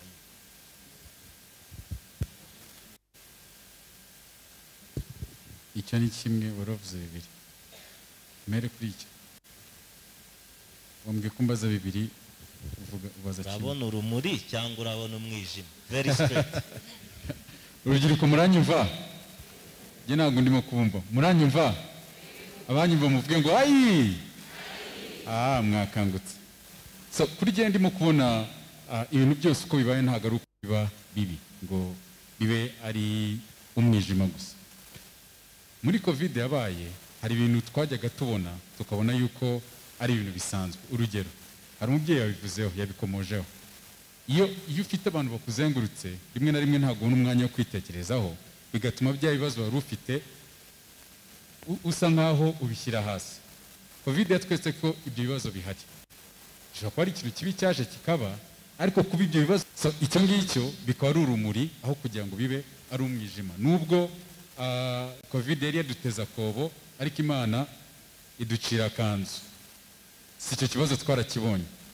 Ikindi kibazo ah, na cyo cyakomojweho ni ingengabitekerezo. Kubera iki? Umuntu yafashe umwanya wo gutangira kwitekerezaho noneho bya bikomere yari asanzwe afite bitangira kugaragara. Nk'uko honorable yabivuze ibuye ryabonetse ntiribarikishe isuka. Ibyari kuba kobo noneho bibaye akanzu kubera ko noneho nkawe nanjye twubaka amahoro tugiye kugenda byimbitse noneho dutangiye no kwigisha kugira ngo bya bintu tubirandure byose. So muri make ndimo kubona urumuri. Ahari ibibazo by'akazi. Urugero hari tekinoloji dufite ntabwo tuyikoresha mu kubyaza umusaruro. Cya gihe umuntu yabaga afite telefone afite smartphone ariko adashobora no gukora akavidewo ngo agashyire kuri youtube. Noneho abantu barabibonye baravuga ati nshobora no gufata telefone yanjye ngakora videwo ividewo ikama views youtube none ikazagira ikazanyishyura. Icyo byari akobo none kabaye akanzu kubera yuko noneho twatangiye kubona iki joro muri cya gihe baduhaye amabandozi y'ubuntu cyari cya kintu noherezaga amafoto gusa. Gitangiye kuba ikindi gikoresho noneho nakoresha kugira ngo kinyingirije amafaranga. Icyari akobo cyabaye akanzu. Muri make ndimo kugerageza kwereka uburyo bwinshi butandukanye bya bintu twari turimo kubona byari byabaye umwijima noneho hari ibintu bishobora noneho kutwereka ese hariya byagenda gute? Ikindi kintu cyabaye. Muri kovide abantu babonye umwanya mwinshi wo kwitekerezaho. Abatari bafite imishinga wari umwanya wo kuvuga ati ese ko runaka yakoraga iki? Ngiye nkaba ndimo gukora iki? Ni gute nagikora kugira ngo kibe cyize kurushaho? Ni gute nanjye natangira kugira ngo ubutaha? By the way ibi ngibyo ndimo kubisabira. Ubutaha niba kovide yaragufashe uri ahantu udashobora kwinyeganyeza. Ugomba gutangira gutekereza ese ubutaha kovide yazansanga ameze gutya? Izansanga hehe? Cyangwa reka ntizo ntikanabeho ukundi. Ariko se haramutse habaye ikindi kintu cyatuma uguma mu rugo ni iki wakora kugira ngo kitazongera kukubuza no gusinzira ahubwo waba usinziriye umusaruro ugakomeza urimo kuza. Muri make icyo nshaka kuvuga ni uko hari urumuri. Ariko ikibazo cy'uru rumuri ruri ku bantu bashaka kurubona. Ku bantu bafite gushishoza gutekereza byimbitse gushaka ibisubizo hari ibibazo kuba intore nyantore. Abatabifite birabagora akenshi nabwo bizadusaba yuko abarimo kubikoramo noneho twabigisha kugira ngo baze kubona. Ukuri ni uko hari urumuri. Urakoze ma ndashaka mbere y'uko nkomeza nababwiye ko pano yanjye ni ngari cyane. Ngiye kugaruka aho ngaho mwicaye none aha ngaha mbere y'uko nza gukomereza kuri pano. Ndashaka guha umwanya urubyiruko baturutse mu turere tunyuranye urubyiruko bagera kuri batanu nze kugana kuri izi ntebe z'imbere zirimo abandi bantu b'inararibonye bagira icyo bavuga kuri ibyo bibazo urubyiruko nta kibazo uratanga igitekerezo cyawe. Uko ucyumva kandi nta muntu uzagenda ukuvuga kubera ko wabajije ikibazo mu buryo bumwe cyangwa ubundi. Turi kumwe? Abashaka microphone si ndababona ibintu birihuta ntabwo ari ibyo kubanza kureba ubaza cyangwa utabaza. Muri he? Oke kuri ruriya ruhande ndabona umwe. Babiri hano. Very good. So reka duhere hariya ndaza guha abantu batanu ijambo hanyuma nze kugaruka hano mbere y'uko nkomeza na pano yanjye. Nababwiye ko tuza kubaziriza igihe mubifashemo. Nta kibazo gishimangira cyangwa kirenze umuntu. Amazina aho waturutse wiga murakoze cyane. Nitwa ruzindana rwigema jacques. Naturutse mu karere ka rubavu mpagarariye club yitwa urumuri talent center. Ndashimira never again rwanda yateguye uyu munsi no kuba tugira icyizere kuba twahagarira abandi. Nshimira n'abapanalisite bacu kuri uyu munsi. Nagira ngo mbaze nyakubahwa honorable clarisse mwahoze mutubwira muti covid guverinoma icyo yaje kurebaho ni kongerera urubyiruko imbaraga mu kubahuza n'ibigo by'imari kugira ngo bizatuzahure mu ngaruka twahuye na covid. Hari ikibazo gikunda kuvugwa cyane. Mwabonye ko no muri biganiro byabaye mu turere icyenda byaje kugarukwaho kijyanye no kuduhuza n'ibigo by'imari. Buri munsi bavuga ikigo bdf bavuga ko gifasha urubyiruko kubahuza kubafasha kubona igishoro. Buri munsi kiravugwa ariko hari abajene benshi basiragira kuri bdf bikarangira ibitekerezo bari bafite inzozi bari bafite babivuyemo bitewe n'uko batadufasha nk'uko bikwiye. Nka guverinoma ni izihe mbaraga muteganya kongera gushyiramo kugira ngo niba cyarashizweho nk'ikigo gifasha urubyiruko kugira ngo gikore icyo kigomba gukora. Icya kabiri ndasaba mark yari ari waduhumuriza urumuri ruri imbere ariko yongera agaruka twereka amahirwe ahari. Turabizi ko ndabizi ko mark abishoboye cyane. Hari amahirwe menshi ku rubyiruko ariko ngo bigarukeho cyane. Koze imbere ye ku murongo na murakoze cyane. Nitwa ntabungiro oliva aba naturutse mu karere ka huye umurenge wa mukuru. Hanyuma ni ibintu bibiri ushaka kuvuga. Icya mbere ni icyifuzo ikindi ni ugusaba. Icyifuzo n'urubyiruko ntabwo twagira dufite amahoro ariko nimba dufite amahoro tugomba no kugira iterambere. Hanyuma icyo nabwira urubyiruko bagenzi banjye ni uko bakura amaboko mu mufuka bagashaka icyaduteza imbere. Hanyuma ikindi cyo gusaba nk'urubyiruko ni uko mwadu- mwadusura cyane cyane mu byaro. Mu urubyiruko rwo mu cyaro dufite amatsinda twibumbiyemo kubera ko twasanze kenshi ubukene nk'urubyiruko rwo mu cyaro dutwara inda nyinshi. Ariko ayo matsinda bitewe ko nta bushobozi dufite buhagije tugira akantu gatonya kaduhuza. Hanyuma ako kantu gatonya kaduhuza ni uko namwe mwadufasha mukagera mu cyaro mukareba ayo matsinda dufite mukadushyigikira tukarushaho kwiteza imbere murakoze. Olive. Mumfashe tugarure microphone ku yindi side Eh, eh, cyangwa ubwo mu nzira yawe Thank you very inyuma, much. eh, mwihangane ndabageraho ariko ntabwo byaba byiza kumva. Kandi akenshi mukunda kwicarana aho mwaturutse mpita mbyumva. So so uh, hano hari uwamanitseho? Very good. Murakoze nitwa hategekimana vincent. Navuye mu karere ka nyanza mu ntara y'amajyepfo. Ndaza gusa n'ushimangira ikibazo umuvandimwe yabaje hariya ariko ikibazo cya bdf natwe tusa naho tugenda duhura na cyo. Uburyo dusobanurirwa bdf ntabwo ariko tuyibona kubera yuko ahubwo bdf n'ubundi ubona ifasha uwifashije. Ariko nk'urubyiruko noneho rushaka gutangira ibikorwa bishyashya ntabwo babasha kutwakira kubera ko babanza kukubaza eh, nimba ufite poroje aho igeze iraninga kugira ngo babashe kuguha amafaranga ahubwo asa naho yunganira igikorwa cyawe aho kigeze. Bivuga ngo utarabona ubushobozi bwo gutangira rero ntabwo ubasha kubona uko utangira. Ikindi nashimangira ni uko mu rubyiruko nk'uko kovide twayibonye n'aho yaje dusanga akenshi wasangaga urubyiruko dusa n'aho dutinya inshingano. Ariko kovide aho yaziye eh, isa n'aho yatweretse yuko ari ngombwa yuko twinjira mu nshingano.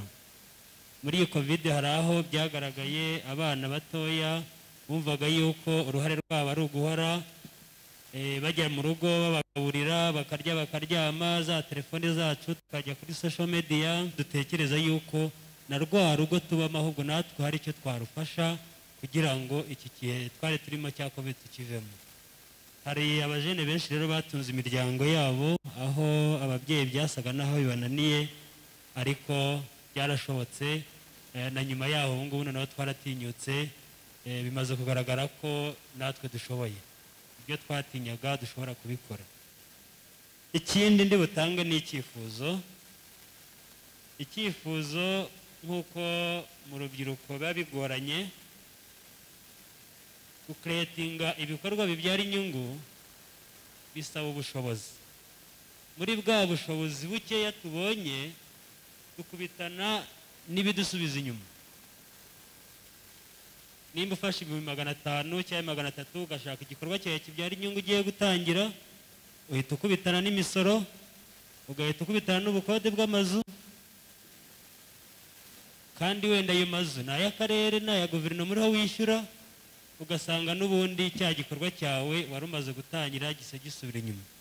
Tukaba twifuzaga yuko wenda ahari ibigo by'ubucuruzi cyangwa se amazu cyangwa amasite y'ubucuruzi asa n'aho ari aya leta bajya bafasha urubyiruko wenda bakaba nk'amezi nk'atatu cyangwa batishyura hanyuma n'imisoro bagasa n'aho bayigabanyirizwa nk'abantu bagitangira.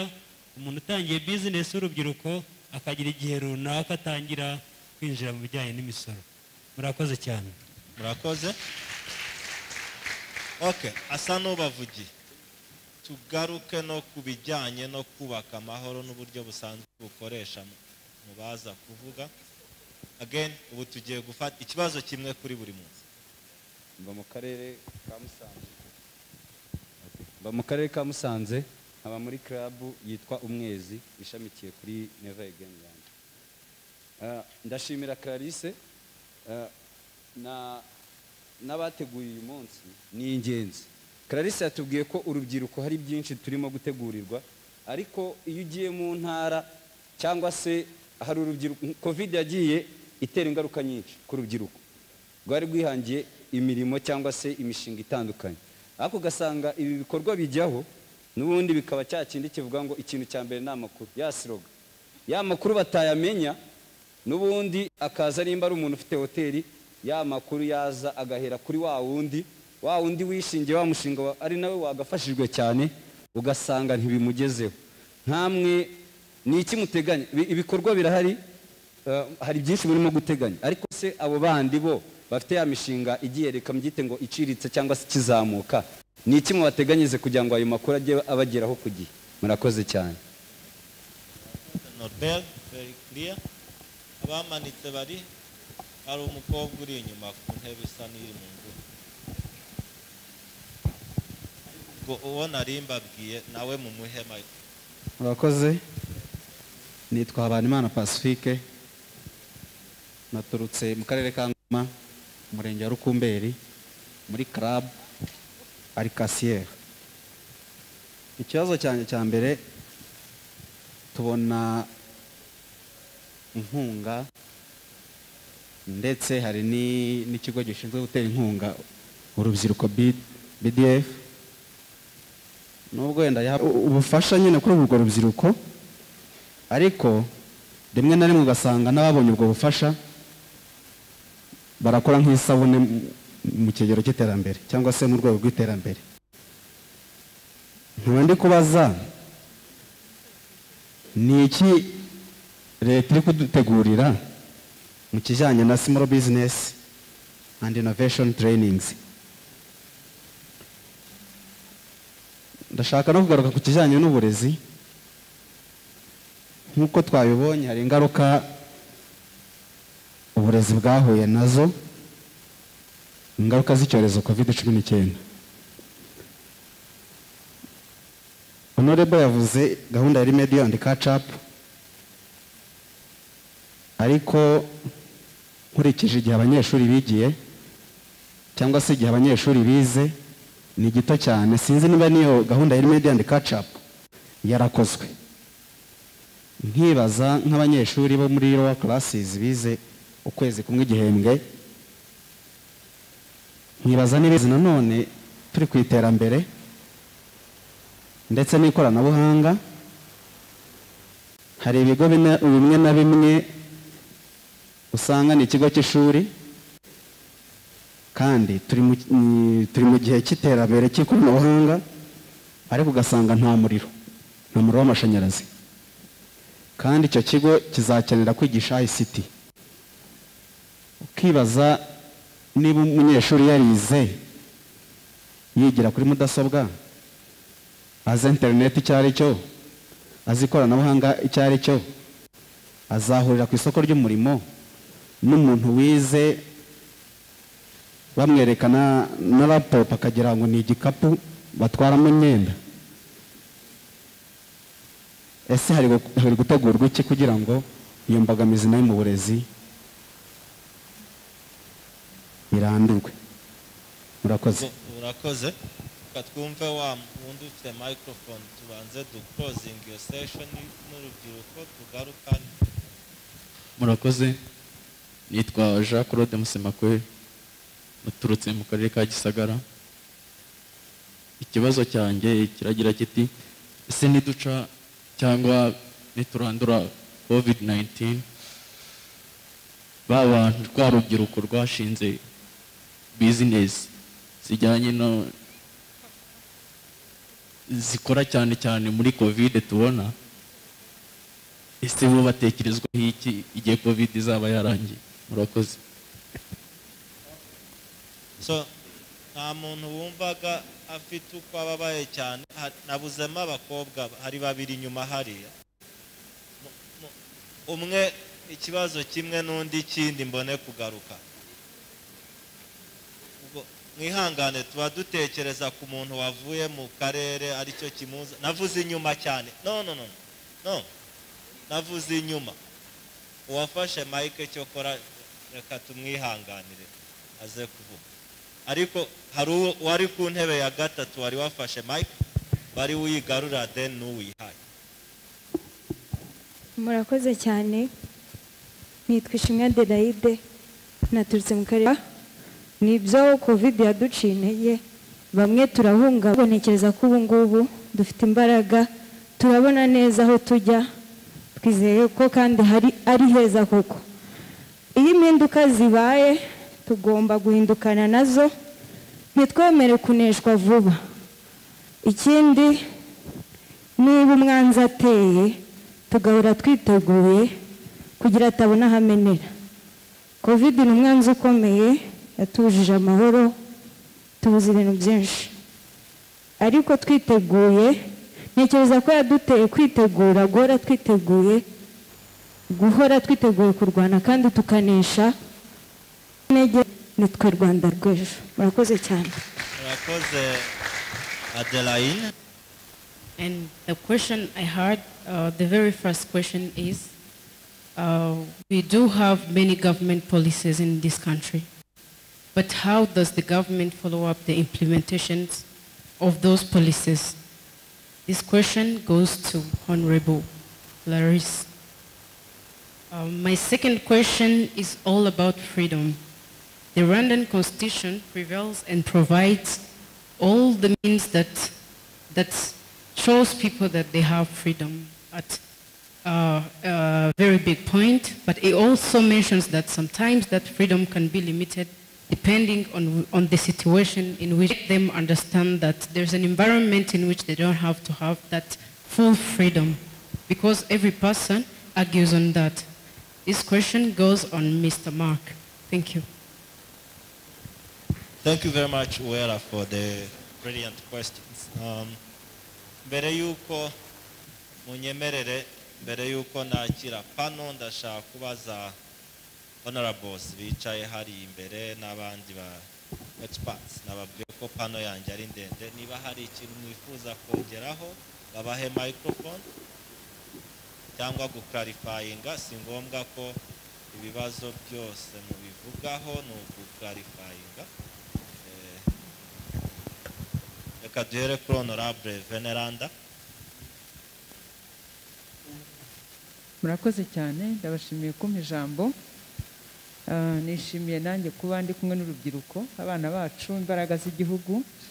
Eh, nshimiye n'ibiganiro byateguwe na never again biteguye neza kandi birimo inyigisho nyinshi. Ah, nshimye kandi n'ibitekerezo bya bamwe mu rubyiruko. Ibitekerezo nari mfite byinshi bikubiye mu magambo meza avuzwe n'umwe mu bana bacu w'i Rubavu. Ntabwo nafashe neza izina rye ariko ade?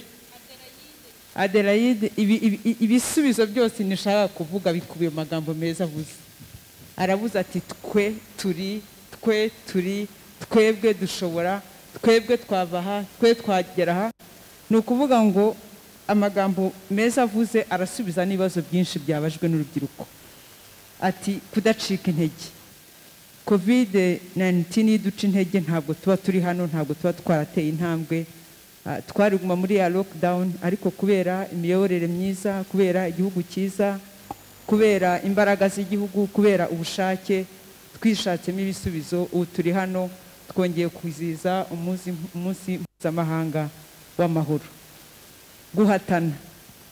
Rubyiruko nashima cyane uru tukaba tuzifite kandi ejo heza h'igihugu cyacu turahabona. Aho turi ni heza ariko n'aho twifuza kugera ni heza. Hari ibibazo bimwe nshaka kuvugaho byabajwe n'urubyiruko. Ah, hari uwabajije ati iterambere n'ikoranabuhanga tumaze kurigeraho ndetse rirakataje ndivuge gutyo atari kuragenda ugasanga hari amashuri ari ahantu runaka hanyuma ugasanga nta n'amashanyarazi ahari kandi uwo mwana agomba kwiga ikoranabuhanga akazajya guhatana n'abandi bagize ayo mahirwe yo kuribona. Icyo nakivuga icyo kibazo ni uko nk'igihugu dufite aho twavuye dufite aho tugeze kandi uko mujya mubyumva nk'urubyiruko nzi ko mukurikira ingengo y'imari iyo itowe n'inteko ishinga amategeko ikemezwa ikagira ibikorwa runaka ikora. Hari uburyo tugenda tuva hamwe tujya ahandi kandi iyo turebye gahunda ya guverinoma y'imyaka irindwi tubona hari igiteganyijwe ko u rwanda rwose tuzaba dufite amashanyarazi ijana ku ijana. Ubu nonaha imibare dufite irashimishije kandi iyo twari dufite ejo hari ikiyongereyeho mbizeza ko nk'igihugu cyiza dufite nk'imiyoborere myiza dufite ibyo byose birebwaho kandi intambwe nziza igenda iterwa. Ah, ikindi navuga muri rusange bitewe n'insanganyamatsiko y'uyu munsi kwizihiza umunsi mpuzamahanga w'amahoro ni uko nk'urubyiruko nk'abanyarwanda tugomba guharanira amahoro. Ariko nkasiga umukoro uvuga ngo ese rubyiruko muri gukora iki kugira ngo twimakaze iyo ndangagaciro y'amahoro mu gihugu cyacu? Ese umusanzu wawe ni uwuhe? Umusanzu wawe ni uwuhe? Ese rya koranabuhanga twavugaga social media muhoraho nk'urubyiruko twese turarikoresha koresha muri rya koranabuhanga bigamije kubaka amahoro? Ese ikoranabuhanga social media duhoraho bidufasha kurwanya icyorezo cya covid cumi n'icyenda? Ese mesaje uherezanya na mugihe ntabarige ntusige tugendane. Ntabarige. Numva ari cyo navugaho eric murakoze cyane. Murakoze cyane honorable veneranda turagushimiye cyane rwose kubera ko honorable Ernest we tukiri kumwe hari undi mwanya ari bugere ndashaka kumva honorable karemera. Nawe mu mwanya muto atugire- murakoze moderator kumpa uyu mwanya. ngira ngo reka nongere nsuhuze urubyiruko ruri muri iyi hasi muri iki cyumba Ah, mbifuriza ah, umunsi mwiza ah, mpuzamahanga w'amahoro.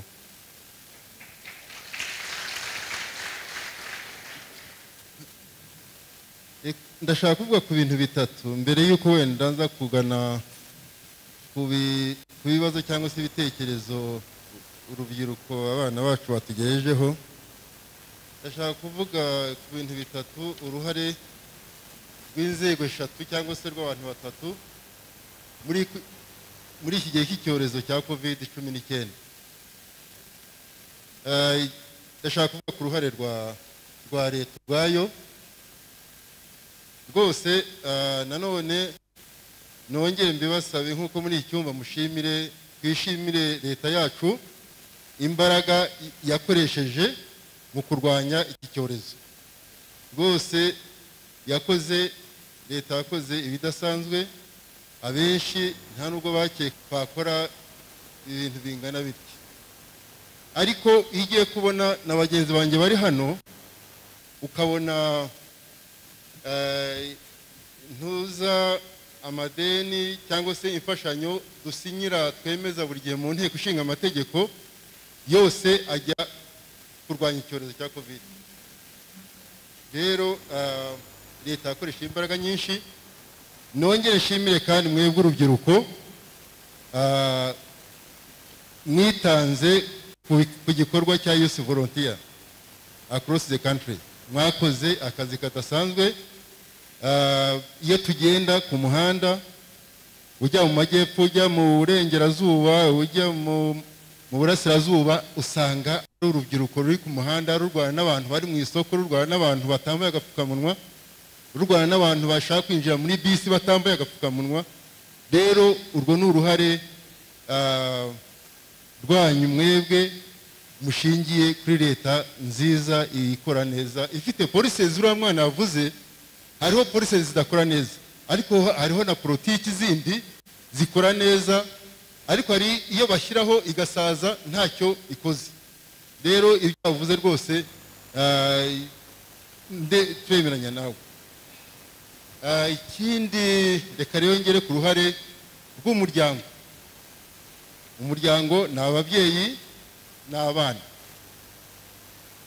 iyo umubyeyi yihebye twagize eh, ibibazo byinshi cyane haza kuzaho na, ya- yakorewe abatutsi mirongo icyenda na kane ariko yahagaritswe n'urubyiruko nk'amwe abenshi mirongo inani ku ijana bari urubyiruko nk'amwe Nu- n'ubu rero n'iki cyorezo ni mwebwe muzakirwanya tukagitsinda abakuze rega hari ubwo bavuga ati jyewe nda mfite imyaka mirongo inani mfite imyaka mirongo itandatu mirongo irindwi. Ati aho kugira ngo ngure agapfukamunwa ndajya kugura icupa ry'urwagwa nishaka izanyice n'ubundi nari nsigaje imyaka mikeya ariko mwebwe ni mwebwe dutezeho ah, ejo heza h'iki gihugu. Ntabwo twabibemerera ngo twaba dutakaje imbaraga z'iki gihugu. Rero dufatanyije namwe nk'abana bize nimudufashe. Turwanye icyorezo. Kuko eh, iyo ubonye imbaraga leta ikoresha iyo ubonye imbaraga aba- abantu benshi bakoresha abakeya dufite intege nkeya twakabaye tugira intege zo kubakurikiza kugira ngo tubafashe kurwanya icyorezo. Ah, ngira ngo ntabatindiye reka nsubire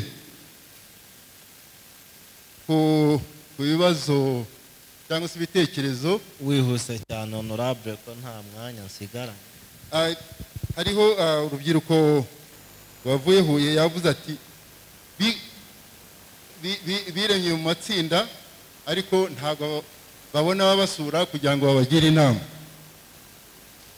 Ubwo ndavuga mu izina ry'inteko ishinga amategeko ubundi twebwe ah, twajyaga dusura abaturage kandi iyo dusuye abaturage dusura n'ibikorwa by'urubyiruko twajyaga dusura abaturage inshuro ebyiri mu mwaka ariko ubu ntabwo tujyayo kubera icyorezo. Ikindi kandi ah, yavuze ngo kubera ubukene abangavu benshi batwaye inda zidateganijwe ntabwo tubyemeranya nawe. Ubukene ntabwo butuma ujya kwiyandarika. Ahubwo ubukene bugutera imbaraga kugira ngo uburwanye bu- buranduke. Ikindi ni, ni bdf bdf cyo ni ikibazo. Hariho umwana wo muri kayonza yigeze kumbwira ko bamusiragije cyane kandi afite umushinga ugaragara. Ndaza mbaza ntuza deje wa bdf ndamubaza ntari ko. Niko harimo abantu bavuga ko imishinga ya bdf mutayifayinansinga neza. Arambwira ati nta mafaranga dufite.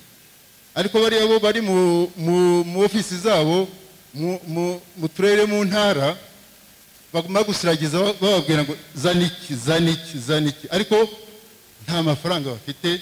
Ariko barayabonye ubu ngubu ngira ngo bakabaye ba- bafayinansinga imishinga yanyu.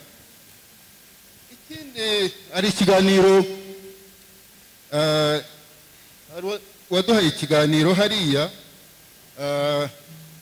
atubwira ngo leta cyangwa se ah, ibigo by'itumanaho byongera iminara iminara ntabwo ari ngombwa. Ibikorwa remezo birahari. Infrastructure irahari ihagije. Nta nubwo kandi ari na ni poor connectivity. Ahubwo twari dukwiriye kureba inzego zibishinzwe ariko tuganira nabo buri gihe tukabibabwira yuko bagomba ku- gukemura ibibazo bya connectivity. No mu mashuri hose aho tugiye dusanga hari icyo kibazo. Rero ah, ibyavuzwe ni byinshi abandi bayivuze youth employment bayivuze ah, honorable clarisse yayivuze ngira ngo reka ndekere aho naho ah, ubundi umuntu afite byinshi byo kuganira n'urubyiruko parliamentary exchange niyo mpamvu iteka tuba tugenda duhana ijambo hagati y'amwe urubyiruko ndetse n'abagize inteko ishinga amategeko. Hari ibyo mwabatumye byo kubaza leta ikwiye kubikurikira. Hari n'ibyo mwagiye mubaza binyuranye ngira ngo ni ikiganiro gikomeza nk'uko honorable karemera yabivugaga. Ngiye kugaruka hano kuri pano yacu noneho itagutse. Mbaze emiliyene uh, aka kanya twavugaga ibirebana no kwiyuba turagana ku musozo. Ni icyo ushaka kubona kugira ngo ubuzima bwo mu mutwe bugende neza none na nyuma ya covid niba bizabaho.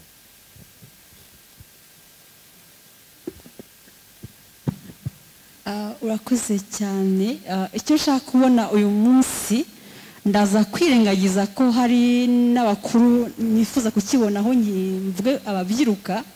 Icyo nshaka kubona ni ukudaheranwa n'igihirahiro. Covid yadushyizemo kudaheranwa ni ijambo dukunze kuvuga ni ijambo ubundi ritera icyizere ah, ni cyo twita resilience kuko burya ah, abahanga baravuze ngo ikitakwishe kigutera imbaraga. Mwanabyivugiye niyo mwavuze ko hari ibintu byinshi mwa- mwakuye mu byabaye mu gihe cya kovide nibikoreshwe kugira ngo bikoreshwe ni uko murangwa no guhitamo byiza. Murangwa n'ibitekerezo bibubaka. Ni uko mumenya ko hari aho mushobora kuvana imbaraga niba zagabanutse kuri wowe. Aho muzivana hambere ni mu miryango yanyu. Reka mbabwire bana b'u rwanda. Ntabwo mushobora gutera imbere. Ntabwo mushobora gutekereza gutumbagira. Mudasuye iwanyu mu mizi aho muvoma. Aho muvoma ni hariya. Mukeneye gufasha imiryango gutera imbere ariko mukeneye n'uko imiryango ibafasha kuzamuka muri ibi amashami meza atanzwe. Ah, ikindi nifuza ku rubyiruko ah, ni- ni ni uku- ni ukugira umwanya wo gutekereza ku bibaye bikatuviramo amasomo. Ntitubivemo nk'abaguruka ngo tubinyure hejuru ahubwo tukabivanamo amasomo.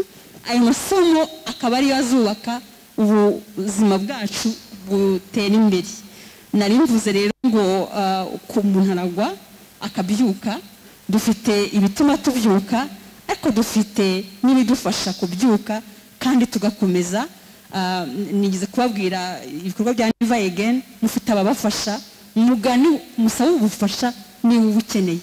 Byigutera isoni kuvuga yuko wumva ufite ikintu kitagenda neza mu buzima bwawe.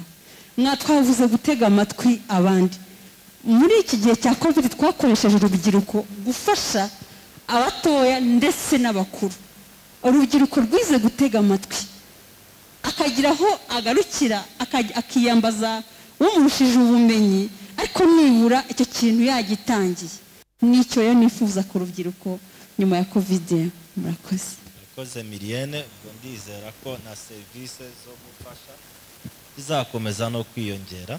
Ndashaka kubaza omeri mwebwe eh, nk'umuryango ukora mu bijyanye no kubaka amahoro ndetse munakorana n'imiryango nyarwanda itari iya leta nanibwira ko ikwiye kuba ifite uruhare runini mu kubaka amahoro. Ni gute mushaka kubona iyo miryango ikora kandi inakorana kugira ngo kwiyubaka bigerweho neza? Urakoze cyane Eric. Eh, imiryango ah, itari iya leta ah, ikora ibikorwa bijyanye no kubaka amahoro. Ah, ikeneye hari ikintu twize muri covid reka ari cyo mperaho. Ah, naho komisiyo y'ubumwe n'ubwiyunge yaduhurije kuri platform turaganira tuganira kuri experience ya covid n'ibikorwa bigamije kubaka amahoro. Ah, icyo nabonye byagaragaje ko hakeneye ibiganiro nk'ibyo ngibyo. Aho bahura bagasesengura ikibazo kibayeho n'uburyo gishobora kwangiza cyangwa kuba kubangamira amahoro. Hanyuma muri rya sesengura thank you very much your excellence ambassador for staying. So thank you. Mumfashe dushimire nyakubahwa ambassador. Platform. Tubona muri education imiryango ikora muri education ifite platform. Ah, n'izindi sectors zitandukanye even no muri agriculture. Ariko iyo bigeze ku bikorwa bigamije kubaka amahoro ubona ntabwo biri ntabwo biragira imbaraga zikomeye cyane. Experience rero navuga ni uko icyo gihe twaraganiriye abantu batangira kuvuga uburyo covid yabangamiye ibikorwa byo kubaka amahoro n'uburyo iri kuba imbogamizi ku mahoro.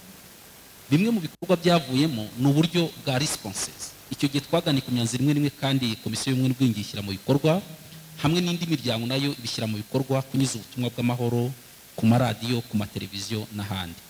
Ikindi ni uko imiryango mu kuganira kuri crisis ivutse ah, reka mvuge yuko ah, crisis iyo ari yo yose yavuka yaba amapfa yaba nk'iyi covid turimo n'ubundi iraza igasa naho ijya gusa n'ijegeza cyangwa yerekana imbaraga mwari mugezeho mu kwiyubaka mu buryo bw'amahoro. Rero ntekereza yuko ni igihe iyo miryango igomba gutangira gutekereza abaturage abanyarwanda muri rusange ni gute bari prepared? Kugira ngo crisis nize barisipondinge mu buryo bwubaka amahoro n'ubundi atari mu buryo bwangiza. Ubona ko no ku rwego rw'umuryango ababyeyi bangije amahoro. Hari ka twabonye za incest aho ababyeyi bafataga abana babo ku ngufu. Ukabona yuko rero imiryango yubaka amahoro ikeneye kuri icyo nakwita uh, analysis ya, ya crisis ariko mu buryo bwa affectinga amahoro. None bagatangira kuramo indicators. Ni izihe indicators twaba tugendeho uyu munsi ku buryo havutse iyindi crisis twatangira kuzigenderaho? Ntabwo nk'urugero ah, hari nk'aho twabonaga abantu bari gutanga ibiryo ariko abantu basa n'aho babirwaniye. Byatwuma nk'umuyobozi w'urwego rw'ibanze hariya ngo babonye igiye kubitwara abaturage bakabirwana. Ni gute tuhavanamo indicator ituma turisipondinga neza kuri crisis? Rero imiryango itari iya leta ifatanije n'inzego za leta iyo consultation yo gusesengura icyo nakwita indicators zifasha kugira ngo tugire um, conflict sensitive responses kuri crisis. Ni ikintu gikenewe cyane kuko ko hashobora kuza ikindi tutazi hashobora kuza yindi crisis mu bundi buryo. Ariko nitwiprepara neza kuri covid tugakuramo amasomo atuma tudevelopa indicators bizadufasha noneho kwexera neza ikindi gishobora kuba cyavuka murakoze. Murakoze cyane. Mel?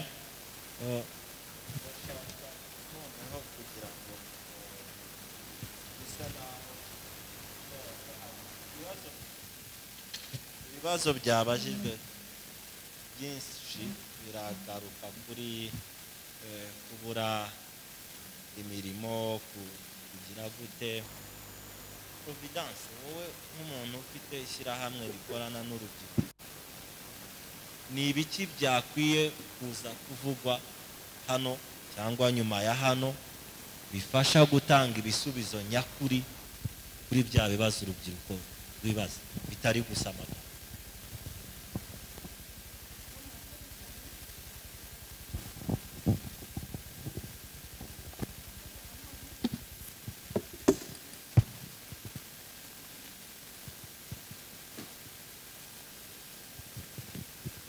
murakoze Ibintu byagakwiye kuvugwa cyangwa se byadufasha mu guhangana n'izi ngaruka nanone senshari ya makumyabiri na rimwe uvuga ngo utazi akaraye rusizi araza moto mu kinamba. Hari abantu bawuzi?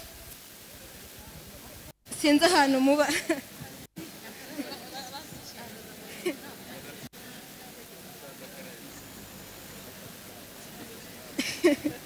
ni cya kibazo cy'amakuru nanone uwo mugani abantu benshi barawuzi utazi akaraye rusizi araza moto mu kinamba uwo ni umugani w'urubyiruko. Uwo mugani wavutse bitewe n'uko habayeho guma mu rugo itunguranye cyane igihe bavuze ngo mu gitondo nta muntu wemerewe kugenda ari nimugoroba kubera rusizi hari habayeho kwiyongera kwa korona bikabije cyane. Ndagira ngo icyo gihe cyo murakizi. Bishatse kuvuga ngo kumenya amakuru cyangwa se guhora twiteguye kuri twebwe ni ikintu natwe nk'urubyiruko kizadufata. Igihe duhuye n'ibibazo tu- tuzi aho tugomba kujya ni ibintu bishobora kudufasha cyane. Ikindi ndabivuga muri ubu buryo ni koti ivuga ngo I'm not bad whether I can use me badly. Ntabwo ndi mubi nubwo nshobora kwikoresha nabi. Mu by'ukuri urubyiruko twikoresha nabi rimwe na rimwe ariko ntabwo turi babi. Kuba tutari babi bivuze ngo twahinduka. Ndavuga nk'urugero twegereye imipaka kutambuka umupaka. Mu by'ukuri duhora twambuka umupaka buri munsi ntabwo ndimo nubwo ndi kubivuga mu bambuka ariko hari abantu bahora bambuka kandi mu by'ukuri bituzaniye ibibazo byinshi. Hari nk'abapfuye hari abantu bagenda bakamburwa bakaba badafite aho kurega nta n'aho wabijyana ngo uvuge ngo nagiye mu i bugande none nambuka So, bigatuma mu by'ukuri byangiza amahoro yacu ariko twe twabyiteye. Twikoresha nabi turenga ku mategeko no ku mabwiriza twahawe. Kwambara nabi agapfukamunwa hari ndi umujene mu byihanganire gukoresha aya magambo baba babonye we ndi G ntabwo nakaraba intoki. Right? Ngewe ntabwo nakaraba intoki. Reka reka ndiji utazambona imboga mu menyo. Ukunda kubikora. Isn't right? Ariko nyamara ugasanga bitugiraho ingaruka muri sosiyete bisanzwe ababyeyi bacu n'abandi bantu tubana nabo muri make ntabwo tuba tuzi abo turi guhemukira. Ikindi ni ibiyobyabwenge kuri iyo ngingo. Abantu sinzi impamvu dushakira ibisubizo mu biyobyabwenge. Ntangazwa no kubona abantu benshi bagiye mu biyobyabwenge nzi nk'abantu benshi b'inshuti zanjye b'abakobwa cyane cyane batigeze banywa inzoga kuva bavuka. Ariko muri iki gihe bagendeye mu bigare hari ijambo ryitwa ubusirimu riri mu kazi.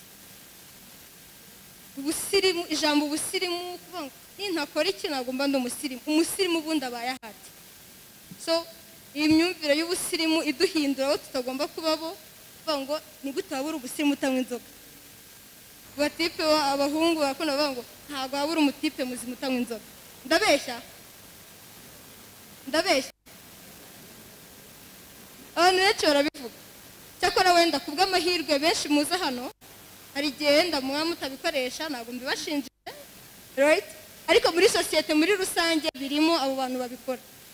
Nkibaza ngo twebwe turi hano twe tuba twaje hano. Cyangwa twabimenye cyangwa se twamenye ibibi by'ibyo bintu tubibafasha gute?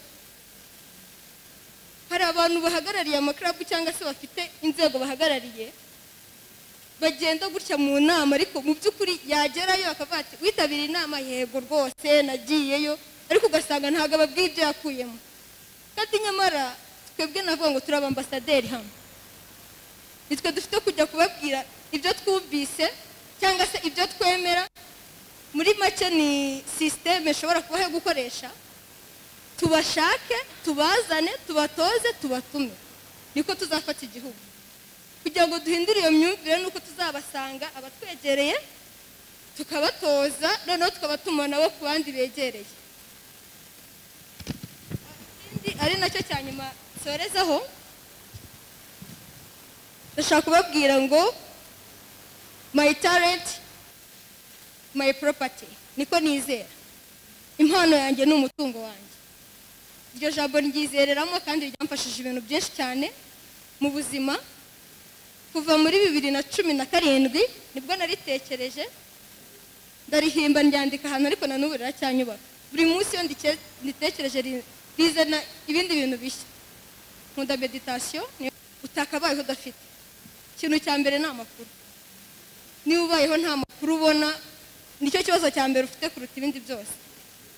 So kuri my talent my property mu by'ukuri impano zacu ni umutungo wacu. Cyane ko wowe uwo uri we utandukanye n'undi muntu ari kubereho kuzuza undi muntu.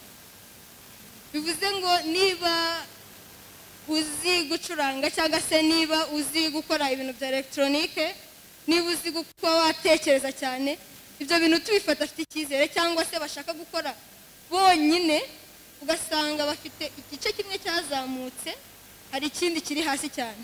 Kubera ko bashaka kuba hari abantu barenze ku bandi. Ibyo bintu bikunda kubaho mu rubyiruko mu masosiyete cyane cyane nko mu ishuri ukabona umuntu neza neza yanga kwigana n'abandi. Akavuga ati ngewe nshaka kuba uwa mbere. Wamubaza urabizi? Reka reka ntabyo. Akandi akaba uwa mbere buri gihe. Ibyo ndabivuga ko no muri sosiyete bibamo ni ibintu tugomba navuga ngo tugomba kugira umuco wo gufatanya. Niyo ufite iki kintu ariko umuntu afite ikindi tubifatanye noneho dukora ikintu kimwe. Right? Ubu ni urugero nkanjye ndabizi neza mu bintu biri puratiko gukora ibintu bya elegitoronike ntabwo ndi mwiza cyane nyine bikaze. Ariko ndi muri uyu mwaka mu kwezi kwa gatanu nabaye besiti wina ofu yufu carenje muri ayipirasi kigali.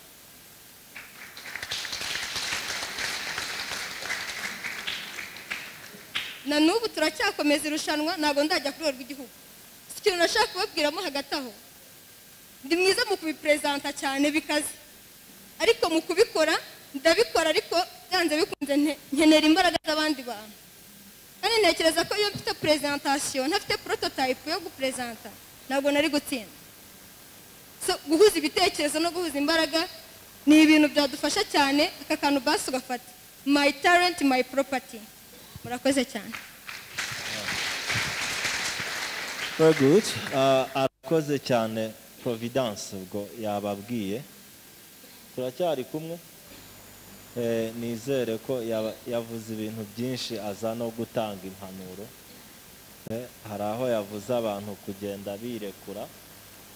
Ba- bamwe ba- bavuga ngo nta myaka ijana ibyo providence ntabishaka. So twongere tumushimire providence. Eh, kandi aracyari mutoya eh, murangana. Mark so wigeze gutanga icyizere hanyuma umwe mu rubyiruko aragucarenjinga ko yakubaje ati icyo cyizere ni byo ariko ha- hari n'urundi ruhande rw'igiceri nk'uko akunda kwivuga mu rurimi rw'icyongereza. Mark ni icyo ushaka kubona gikorwa kugira ngo cya cyizere cyawe kigereho tangibly? Ibihe bikorwa bitugeza kuri ya light wavugaga. Abaji murahari? Naho ndimo kubumva abaji murahari? Abaji banza ari bo basohotse. Urubyiruko murahari? Reka mbumve urubyiruko murahari? So abantu bambaje ibibazo ni babiri. Umwe ni ruzindana na na uwera naomi right? So ruzindana yambwiye ngo kuki na- na- natanga opportunities. Ariko ruzindana ari mu bantu bari muri izo opportunities. As a matter of fact akenshi urubyiruko rukunze guhurira muri ibi bintu. Igihe nkora muri Aegis Trust hari Eric ukora muri Twe turabigishije na Never Again irabigishije right? So kuri izo opportunities mureke kuba opportunistic mureke kuba ba bantu babona amahirwe ariko bagakeka yuko n'ejo n'ubundi azaza. Ubundi se kuki ndakomeza n'ubundi ndimo gukora ibyo ndimo gukora. Wenda ndashima ruzindana jacques ndabona sidic hari n'abandi nagiye mbona bagiye batandukanye. Mwagiye mukora ibyo mwigishijwe mugakora activities zitandukanye hirya no hino muri. Ariko mwibuke mu bantu mwagiye muhugurwa na- muhugurwa na- nabo abenshi n'abagiye bahabwa amafaranga yo gukoresha bayakoresheje ubusa. Kandi harabayeho igihe cyo kubahugura. Hakabaho n'igihe cyo kuyabaha hakabaho n'igihe cyo kubakurikirana ariko abantu bakaba deliberate bagahitamo kugira ngo bayobye uburari banabeshye kandi ayo mahirwe bayabonye. Nawe igikunze kuba ni uko iyo ayo mahirwe uyabonye rimwe ntuyakoreshe. Ntabwo agaruka bwa kabiri. Sinzi niba turimo kubyumvikana. Abenshi muri hano kubera yuko mwanyuze muri gahunda za never again. Ariko n'ahandi mwagiye mujya twagiye tunyura muri gahunda zitandukanye.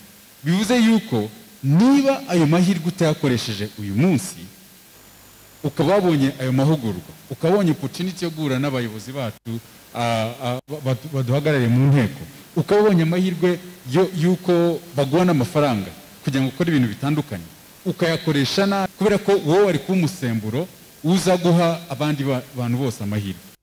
So kuri icyo ngicyo um, wavuze ati twabikora gute? Firstly uh, never again aegis uh, n'abandi batandukanye. Dufite platform ari na yo yarimo kuvuga.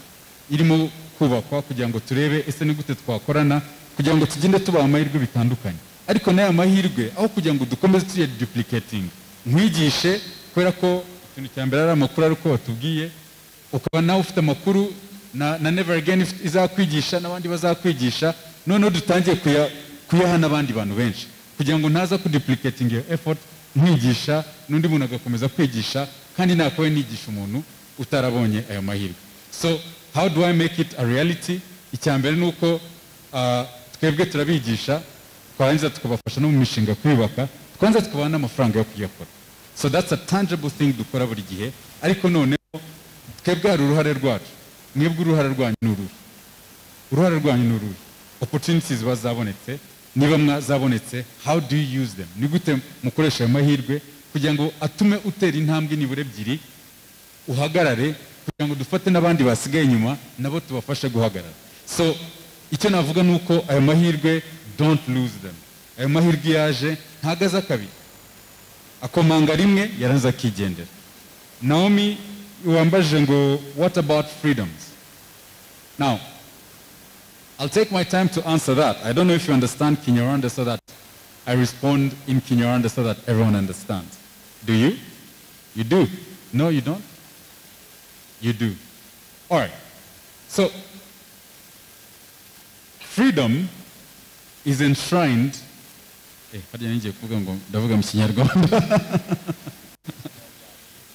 Amategeko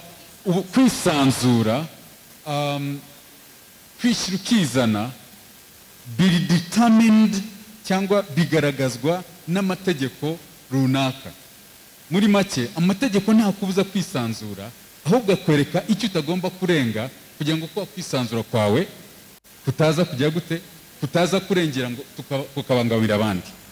So uwabajetse ni gute twakwigisha abantu kugira ngo bamenye cya gihe igihe amategeko kwisanzura byagabanyutse kugira ngo babimenye? Icya mbere twebwe nk'urubyiruko mwebwe nk'urubyiruko ugomba kuba uri involved no kumenya ibintu bihari. Ariko ugomba no kumenya ayo mategeko aguha ubwo bwisanzure ariko naho n'imbago zabyo limite zazo. Sibyo? Ufite ufite uburenganzira bwo kuvuga. Ariko n'ufite uburenganzira bwo gutanga uh, hate speech um, amagambo y'urwango.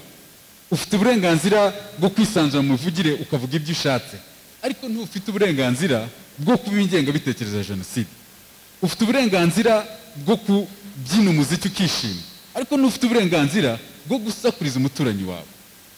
Sinzi iyo turimo kubyumva. Ufite uburenganzira bwo, gukina. Eh, ugakina umupira ukagira uko ushatse ariko ntufite uburenganzira bwo kumena ikirahure cy'umuturanyi wawe. Kuko ubwo burenganzira bwose ufite bufite imbago ntarengwa bituma n'undi muntu nawe umuha uburenganzira bwe bwo kubaho. So icyo numva twakora ni wowe wakora nanjye nakora ni ukumenya uburenganzira dufite na limite bugira kugira ngo tutaza kuvutsa abandi uburenganzira bwabo. Mfite uburenganzira bwo kubaho mu, bwisanzure mfite uburenganzira bwo kuba muzima. Ariko simfite uburenganzira bwo kwanduza mugenzi wanjye covid. Sinzi iyo turimo kubyumvikanaho.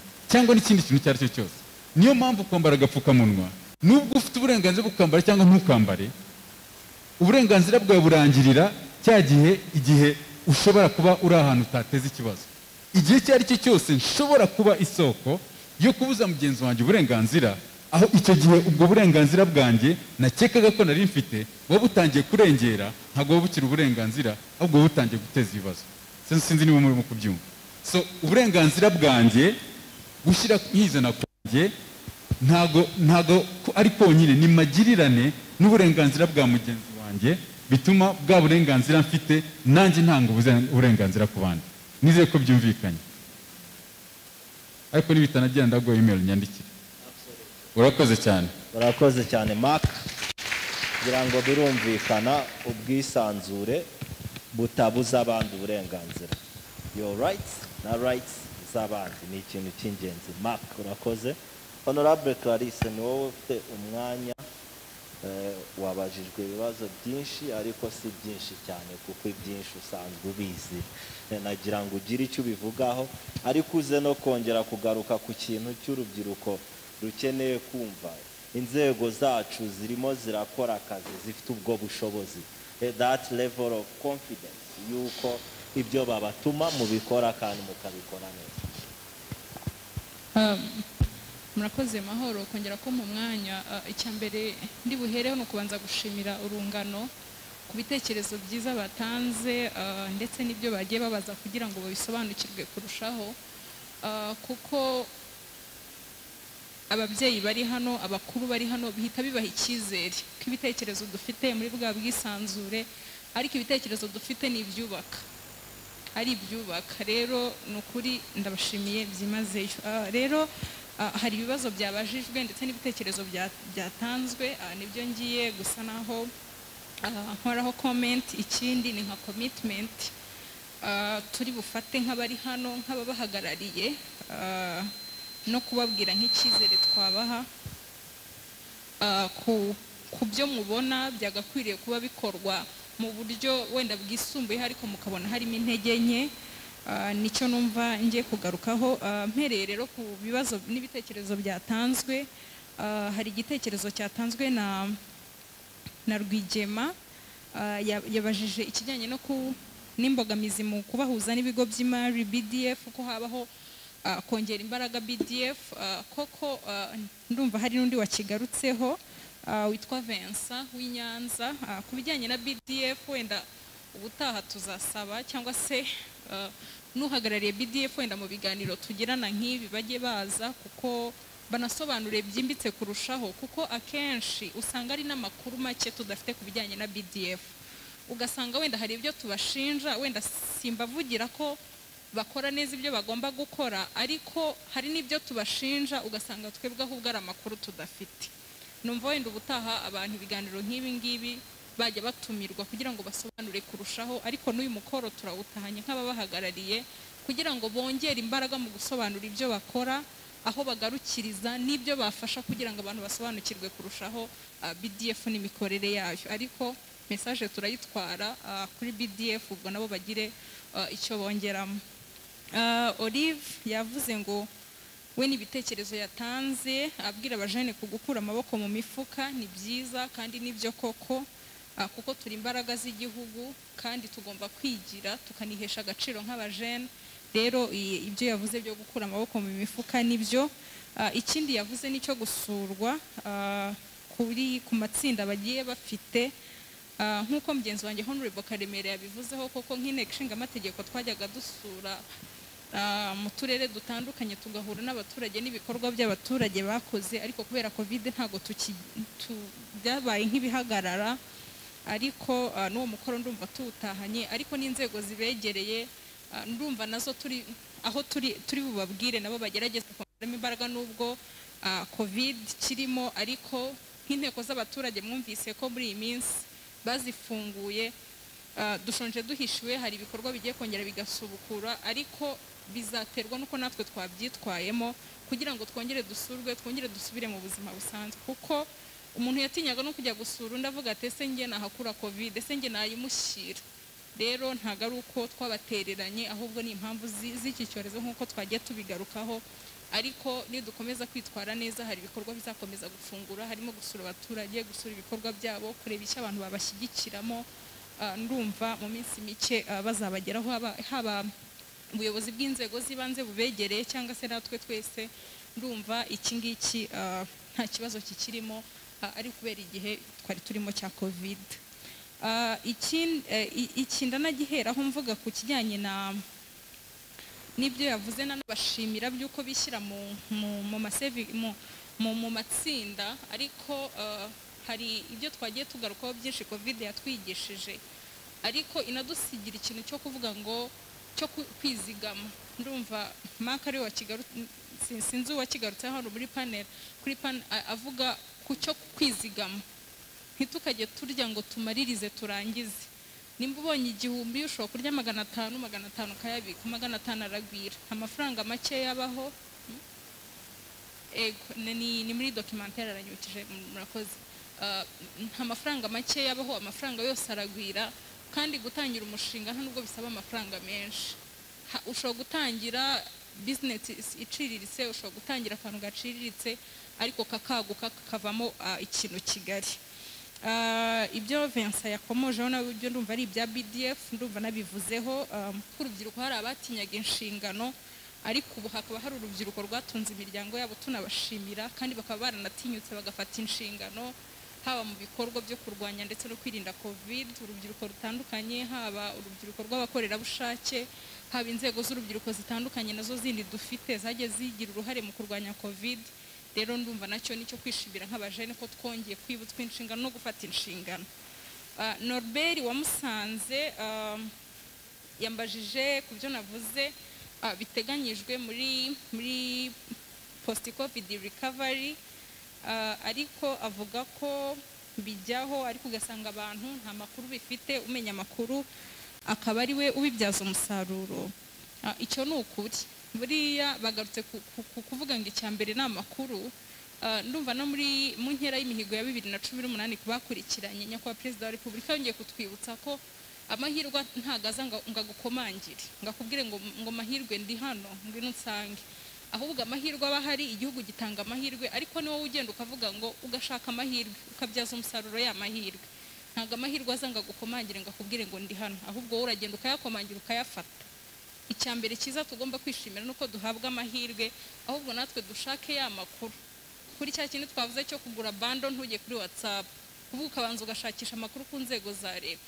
Ukareba kuri neva egeni ibyo bateganyijwe ukareba puratifomu z'abantu bose ushobora kumva bagufasha ukareba icyo bateganyije. Haba hariho n'amanimero ya telefone. Ushobora no kubabaza ni ibiki muteganyirije urubyiruko?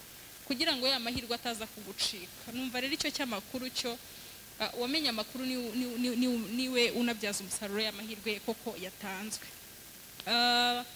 Steven yagarutse atanga igitekerezo kuri smes kuri ku, ku mishinga mito cyangwa se kuri bizinesi ntoya ziciriritse. Y'uko zafashwa ni igitekerezo cyiza twacyakiriye ah, tuzakigeza ku babishinzwe. Ikindi yavuze ni icy'uburezi ah, cya remedio na up ikindi ni icy'umuriro. Ndumva mugenzi wanjye honorable veneranda yabivuzeho mu buryo burambuye. Ah, ibitekerezo twabyakiriye hari ibiteganyijwe koko ariko twanabyakiriye kugira ngo ababishinzwe tuzababwira bashyiremo imbaraga. Hari musemakweri wa gisagara yavuze ngo covid nirangira abashinze business wenda bagendeye kuri covid se ntibazahomba. Ah, hari ingero dufite koko hari abana bakoze hand sanitizer hari abagiye ba- bakora inganda zikora amasabune ati se ntibazahomba? Ntabwo bazahomba kuko isuku izahoraho. Ah, kuba umuntu yakoze isabune isabune izakomeza ikoreshwe hand sanitizer umuntu ashobora no kuyikoresha atari ngombwa covid agira ngo yice ah, utundi dukoko. Numva ngiye ku bwanjye batazahomba. Ah, ikindi by'ikoranabuhanga ahubwo baranatwigishije batweretse urugero rw'ibishoboka kuko ah, ikoranabuhanga abantu ntabwo twari tuzi ko rifite imbaraga ku buryo rishobora kudukorera ibingana nk'ibyo ryadukoreye. Numva njye ku bwanjye batazahomba ahubwo bakomerezaho batekereze n'ibindi byafasha kurushaho. Ah, undi wavuze ni Adelaide tunamushimira cyane. Ah, mugenzi wanjye honorable Venanda nawe yabikomojeho ntabwo mbitindaho yadusabye nk'abajene twese kuba bataneshwa aho turi hose mu byo dukora byose tukaba bataneshwa. Ntitube bataneshwa gusa kuri covid ahubwo n'ibindi byose. Muri kadire zose z'ubuzima ntitube bataneshwa. Hari icyo bavuze cy'inda ziterwa abangavu bakobwa bagenzi banjye muba bataneshwa. N'abo muhagarariye muba bataneshwa. Ukubwira ibyo wumva utumva neza umubwira ati no uhakane. Kuko birashoboka kandi ni na byo byiza ni na byo bifatika. Kuko aba akwiciye viziyo wenda na byo tuzagira undi mwanya wo kubiganira ariko tuba bataneshwa aho ariho hose n'aho turi hose. Ah, ikindi ni ukwitegura ntidutungurwe kwitegura gufata inshingano kudacika intege. Ni byiza yatubwiye ariko ntitubitekereze gusa kuri kadire ya covid ahubwo tubitekereza no mu buzima bwacu bwa buri munsi. Izo nama zose tuzishyire mu buzima bwacu bwa buri munsi. Ah, uwa nyuma ni undi busorezeho. Ah, ni uwera. Ah, kimwe mugenzi wanjye yagikomojeho turi kumwe hano kuri panel. Ikindi yavuze kuri implementation za ya government policy na mugenzi wanjye honorable kadimira yagikomojeho ntabwo tugitindaho ariko ku mugani dufite policy nziza dufite politike nziza. Hari ibikorwa byiza dushima hari ahakiri intege nke turabyemera.